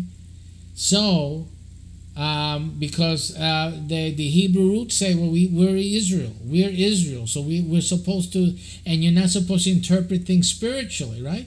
No estamos supuestos a interpretar la cosa espiritualmente. So, la circuncisión es algo físico y no se puede interpretar físico, entonces tenemos que hacer la circuncisión. If you are Israel, Hebrew roots or otherwise, you have to get circumcised because you can't interpret scripture spiritually. So, circumcision is not supposed to be taken spiritually but physically because that was the requirement in order for you to become Israel. La requisito para usted ser Israel era ser circuncidado. Look at what Paul says. So the rule is for you to be circumcised. I, Paul, say unto you that if ye be circumcised, Israel, in fact, Christ shall profit you nothing. Si eres circuncidado, Cristo no te aprovechará en nada. En nada. See, but the, the covenant require you to be circumcised. El pacto requiere que tú seas circuncidado. For I testify again to every man that is circumcised that he is a debtor to do the whole law. El que se circuncida es deudor a toda la ley. Tiene que cumplir toda la ley física. You have to do the whole law, which includes Sabbath. Uh, Exodus 20, verse 8. You must uh, remember the Sabbath and keep it holy. To keep it holy, right? So you have that is part of you have to be circumcised, and because of that, because you're Israel, you have to keep the Shabbat. Toda la ley. Tiene que observar toda la ley, ser circuncidado. Cuatro. For Christ is become of no effect unto you, porque Cristo a ti no te aprovecha nada. Whosoever of you are justified by the law, Ye are fallen from grace. Ustedes se han caído de la gracia. Eran pentecostal, pero han caído de la gracia. Eran luteranos, pero han caído de la gracia. Eran presbiterianos, bautistas, pero han caído de la gracia. Eran católicos, pero han caído de la gracia. Punto. You know, you guys were Catholic, you were Lutheran, you were Presbyterian, you were Pentecostal, you were Baptist, but now you have fallen from grace because you have gone to obey the voice of the Lord and keep the covenant. That's why you have fallen now from grace. Christ is of no effect for you. Cristo no tiene efecto contigo because you are obeying the Sabbath law. Christ is of no effect to you because you believe that you have to keep the Sabbath. Porque tú crees que tú tienes que guardar el Shabbat. And then Christ means nothing to you. Why? Why is it?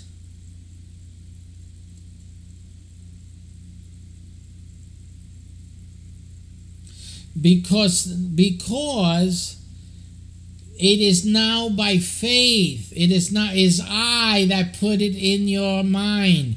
I write it in your heart. Not that you follow what was told or spoken my voice indeed. God is telling you, you do not go by my voice indeed in terms of the law. That covenant is broken, no good, nada. That's it, finito, punto, caput. That's what God is telling you. You saw it in Jeremiah, and now you hear Paul telling you again, because Paul understood. For we through the Spirit wait for the hope of righteousness by faith.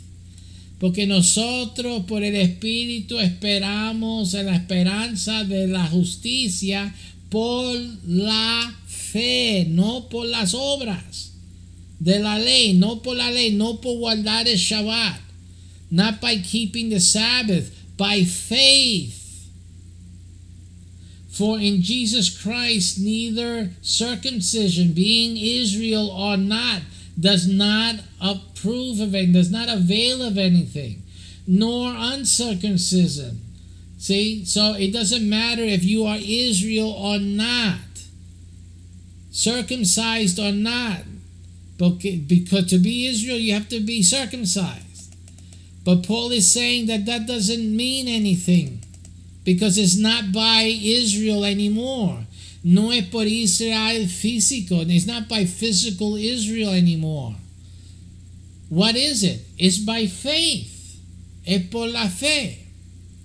Here becomes the, the issue now, and I'm I challenge every Hebrew roots guy, uh, person listening to me. Aquí es el desafío para cada persona hebrea, raíces hebreas muéstranos el ADN.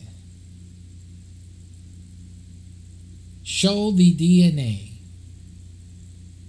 We have the science. Ya está la ciencia. Ya tenemos la tecnología. We now have the technology for you to prove if you are Israel or not. Hoy tenemos la tecnología para tú probar si eres Israel o no. So show the evidence. Go by the evidence. We have it. Go by it. Vámonos con la evidencia. Ya lo tenemos. Demuestra la evidencia que tú eres Israel.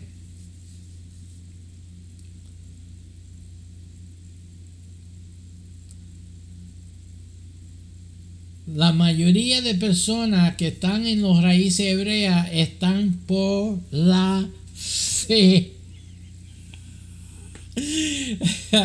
porque no tienen evidencias. Ni cuando yo le digo, le desafío, ni buscan evidencia.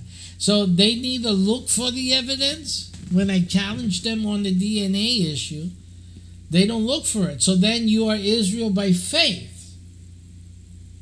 Entonces son Israel por fe. Well, if you are Israel by faith, si son Israel por fe, entonces no es la circuncisión. Porque como Pablo dice, tú estás de acuerdo con Pablo. You're in agreement with Paul that it is by faith. It is no it's not by anything else, not by blood or not by DNA. It is simply by faith. Because even what does the circumcision mean? It's it mean by blood? By family relation, we are Israel. But Paul is saying no no longer. The circumcision doesn't mean anything. Becoming Israel physically doesn't mean anything, it doesn't help you. You need to be Israel by faith.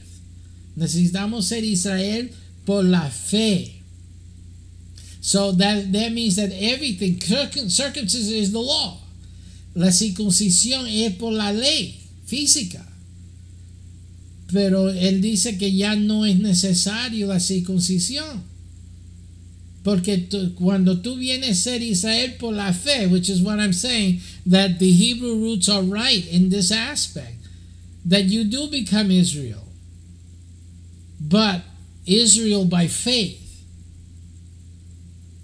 And that means that the law is also by faith, the fulfillment thereof. Quiere decir que también si tú eres Israel por la fe, entonces quiere decir también que la ley, circuncisión, es por fe, no por la obra de la ley, sino por fe.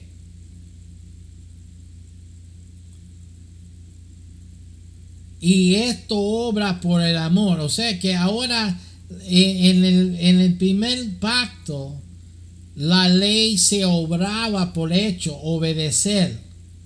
Pero ahora la fe se demuestra en el amor. No en las obras de la fe. As digo, en las obras de la ley. So what we see here is that now we do not do the obedience to the law. What we do is have faith which worketh by love. Here it goes. Oh, oh, oh, read it there. Get your napkin ready, your handkerchief.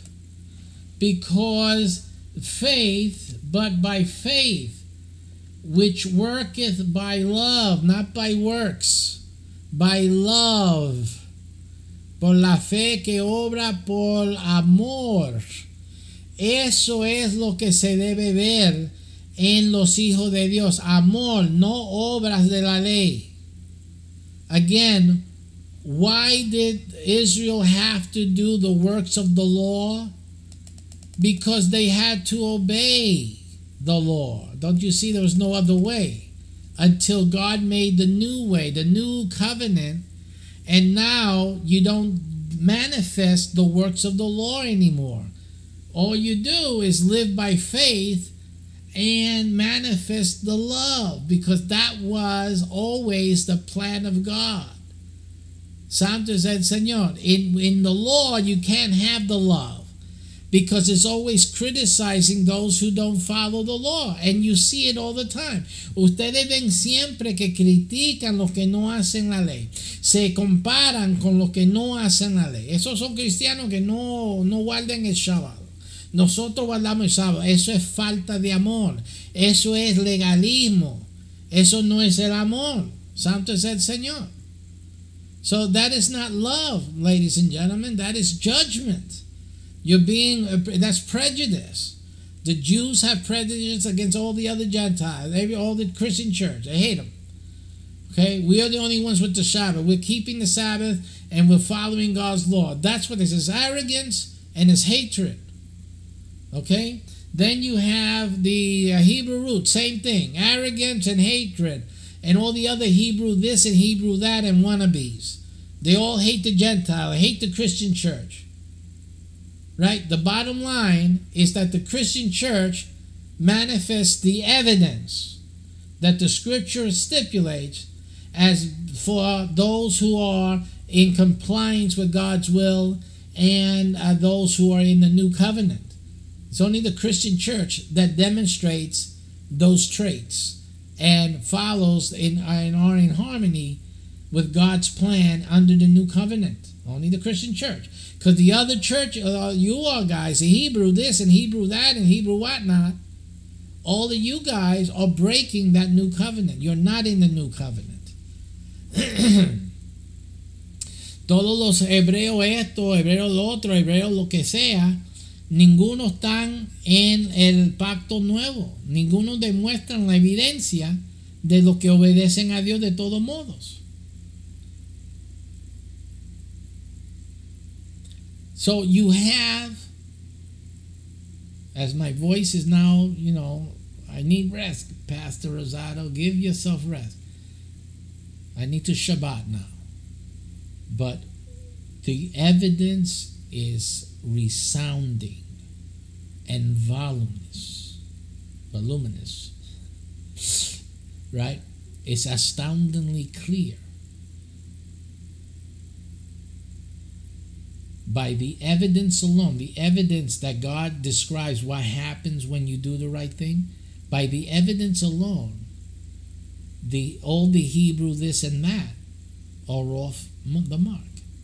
Todos los hebreos, estos, los otros, son fuera de sí, fuera de, la, de, donde deben estar.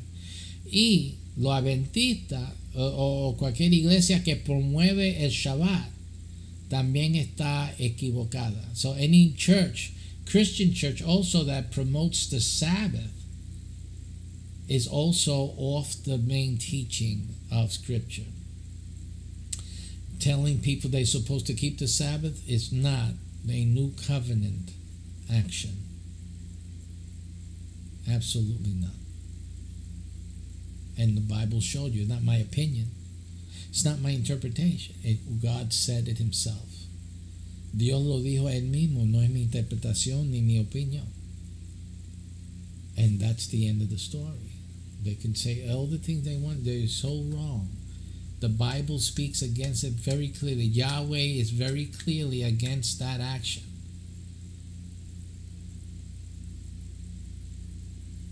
Now you choose what you're going to do. But if you were, I, like I say, you were Christian, you better get back to Christ. Because the bottom line is, uh, Christ has become of no effect. You have broken away from Christ if you do anything according to the law today. Si tú haces cualquier cosa de acuerdo a la ley hoy, tú has desligado de, Cristo. Tú no eres salvo, tú no tienes la salvación, tú no tienes a Dios. Tú puedes uh, invocar el nombre de Yahweh todo lo que quieres, tú estás en desobediencia y no solamente eso, sino que tú estás peleando contra Yahweh. You are also fighting against Yahweh and his plan. Because you're telling people to keep the Sabbath. Porque tú estás diciendo a la gente que hagan, eh, obedezcan la ley, que guardan el sábado, el sábado. You're telling people to follow the law. Tú estás diciendo a la gente que obedezcan la ley. You're telling people to follow the feast, to keep the feast. Tú estás diciendo a la gente que sigan la fiesta. Y Dios está diciendo que no es así. And God is saying that it's not that way. that was the first covenant. That's fine. All the verses you had that say God said to do that is the first covenant which they break. That's it. Over. Done. Kaput. Eh, todos esos textos que tú tienes para defender ese, ese postulación es del primer pacto que fue violado, que fue invalidado por Israel. Ya, punto, se terminó.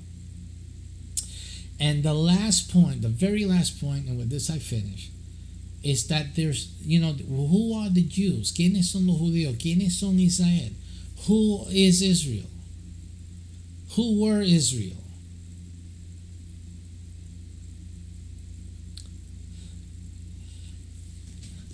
They were Gentiles. Eran gentiles. It's come full circle, folks. I mean, can, don't you understand? Israel, God didn't make Israel. Israel was taken from Gentiles. Israel fue tomado de los gentiles. And Israel came back to the gentiles and Israel ended up back with the Gentile because the whole the whole story is God is trying to save all the earth. Dios está salvando todo el mundo, los gentiles que son Israel y Israel son los gentiles. Todos somos. Israel vino de los gentiles, you know, en que no hay entendimiento. Esta gente es increíble. So the the profundity, the, um, the, the great, vast amount of understanding and clear evidence also in Scripture is goes against the premise of the Hebrew roots movement. So after these three hours, almost four, I mean, this has been a pretty much a very uh, point by point um, coverage of the main reasons for the Hebrew roots movement of being the Hebrew roots movement, and they're falling short. Um, simply, um, you know, you've seen the error. You've seen the evidence that God places and where it lies. And simply, it's as clear as day. Any I, have said enough. So it's, it's all very clear. as clear as day. So thank you guys for joining us today. Um, you know, again, I give very lengthy talks of biblical matters, but you have to understand that in the human perspective, uh, people, uh, you know, we're talking about thousands of years of understanding and teaching, of perspective that I have to dig through, you know, in a short amount of time. And this was a very profound teaching. Um, and uh, we just had to go there. We had to start from the beginning, and you had to just see everything, how it falls in place with the scripture. But most important, I think the most important thing you need to, you need to, if you didn't catch it, go back in the video. I know it's a long time, but look for the evidence, the declaration of the evidences when things are right, when when when when the nation is doing the right thing, and you see the evidence. God said this will be the result, and look for the result. As they say, follow the money because that's the proof. Así que usted, eh, si una cosa recuerde, busca la evidencia. Recuerde en el video que hablé de la evidencia que da Dios, de que estos son bien correctos, que son correctos y los otros no son correctos. Sencillamente eh, hay un refrán en gringo que dice sigue el dinero, busca y sigue el dinero, porque ahí está la verdad. Y entonces aquí en la escritura usted ve qué es la verdad. Los que demuestran esta evidencia, ellos están en la verdad. Los que no lo demuestran, no están. No tienen la verdad. Y, eso es, tan claro, más claro que eso, no canta el gallo, como dice otro refrán. Así que gracias por sintonizar. Revisa bien este video. Esos puntos son bien. En, en, uh, y nadie quiere debatir conmigo, ¿sí? I, have made invitations uh, or reach out to have discussion, not even debates. No fue debate, yo invité a hacer una discusión. Vamos, quiero hacer interrogación. I want to make some questions. I want to have some questions and just have you answer. That's all. I, I didn't want to debate. I just want to ask questions and see what their answers are and let them stand or fall on, upon their answer. No one has wanted to take that uh, invitation up. What are you afraid ¿Qué, ¿Qué, es lo que temen ellos de mis preguntas? See? So it's, it's just like those organizations where you can't ask your own questions. What is that, brainwash? Right? Esas organizaciones es como esa organización que no te dejan hacer tus propias preguntas.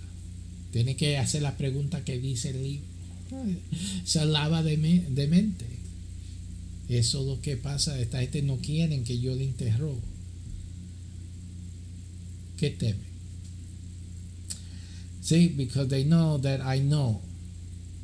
That's why. Porque ellos saben que yo sé y no tienen respuestas. And they don't have the answers to the questions that I have.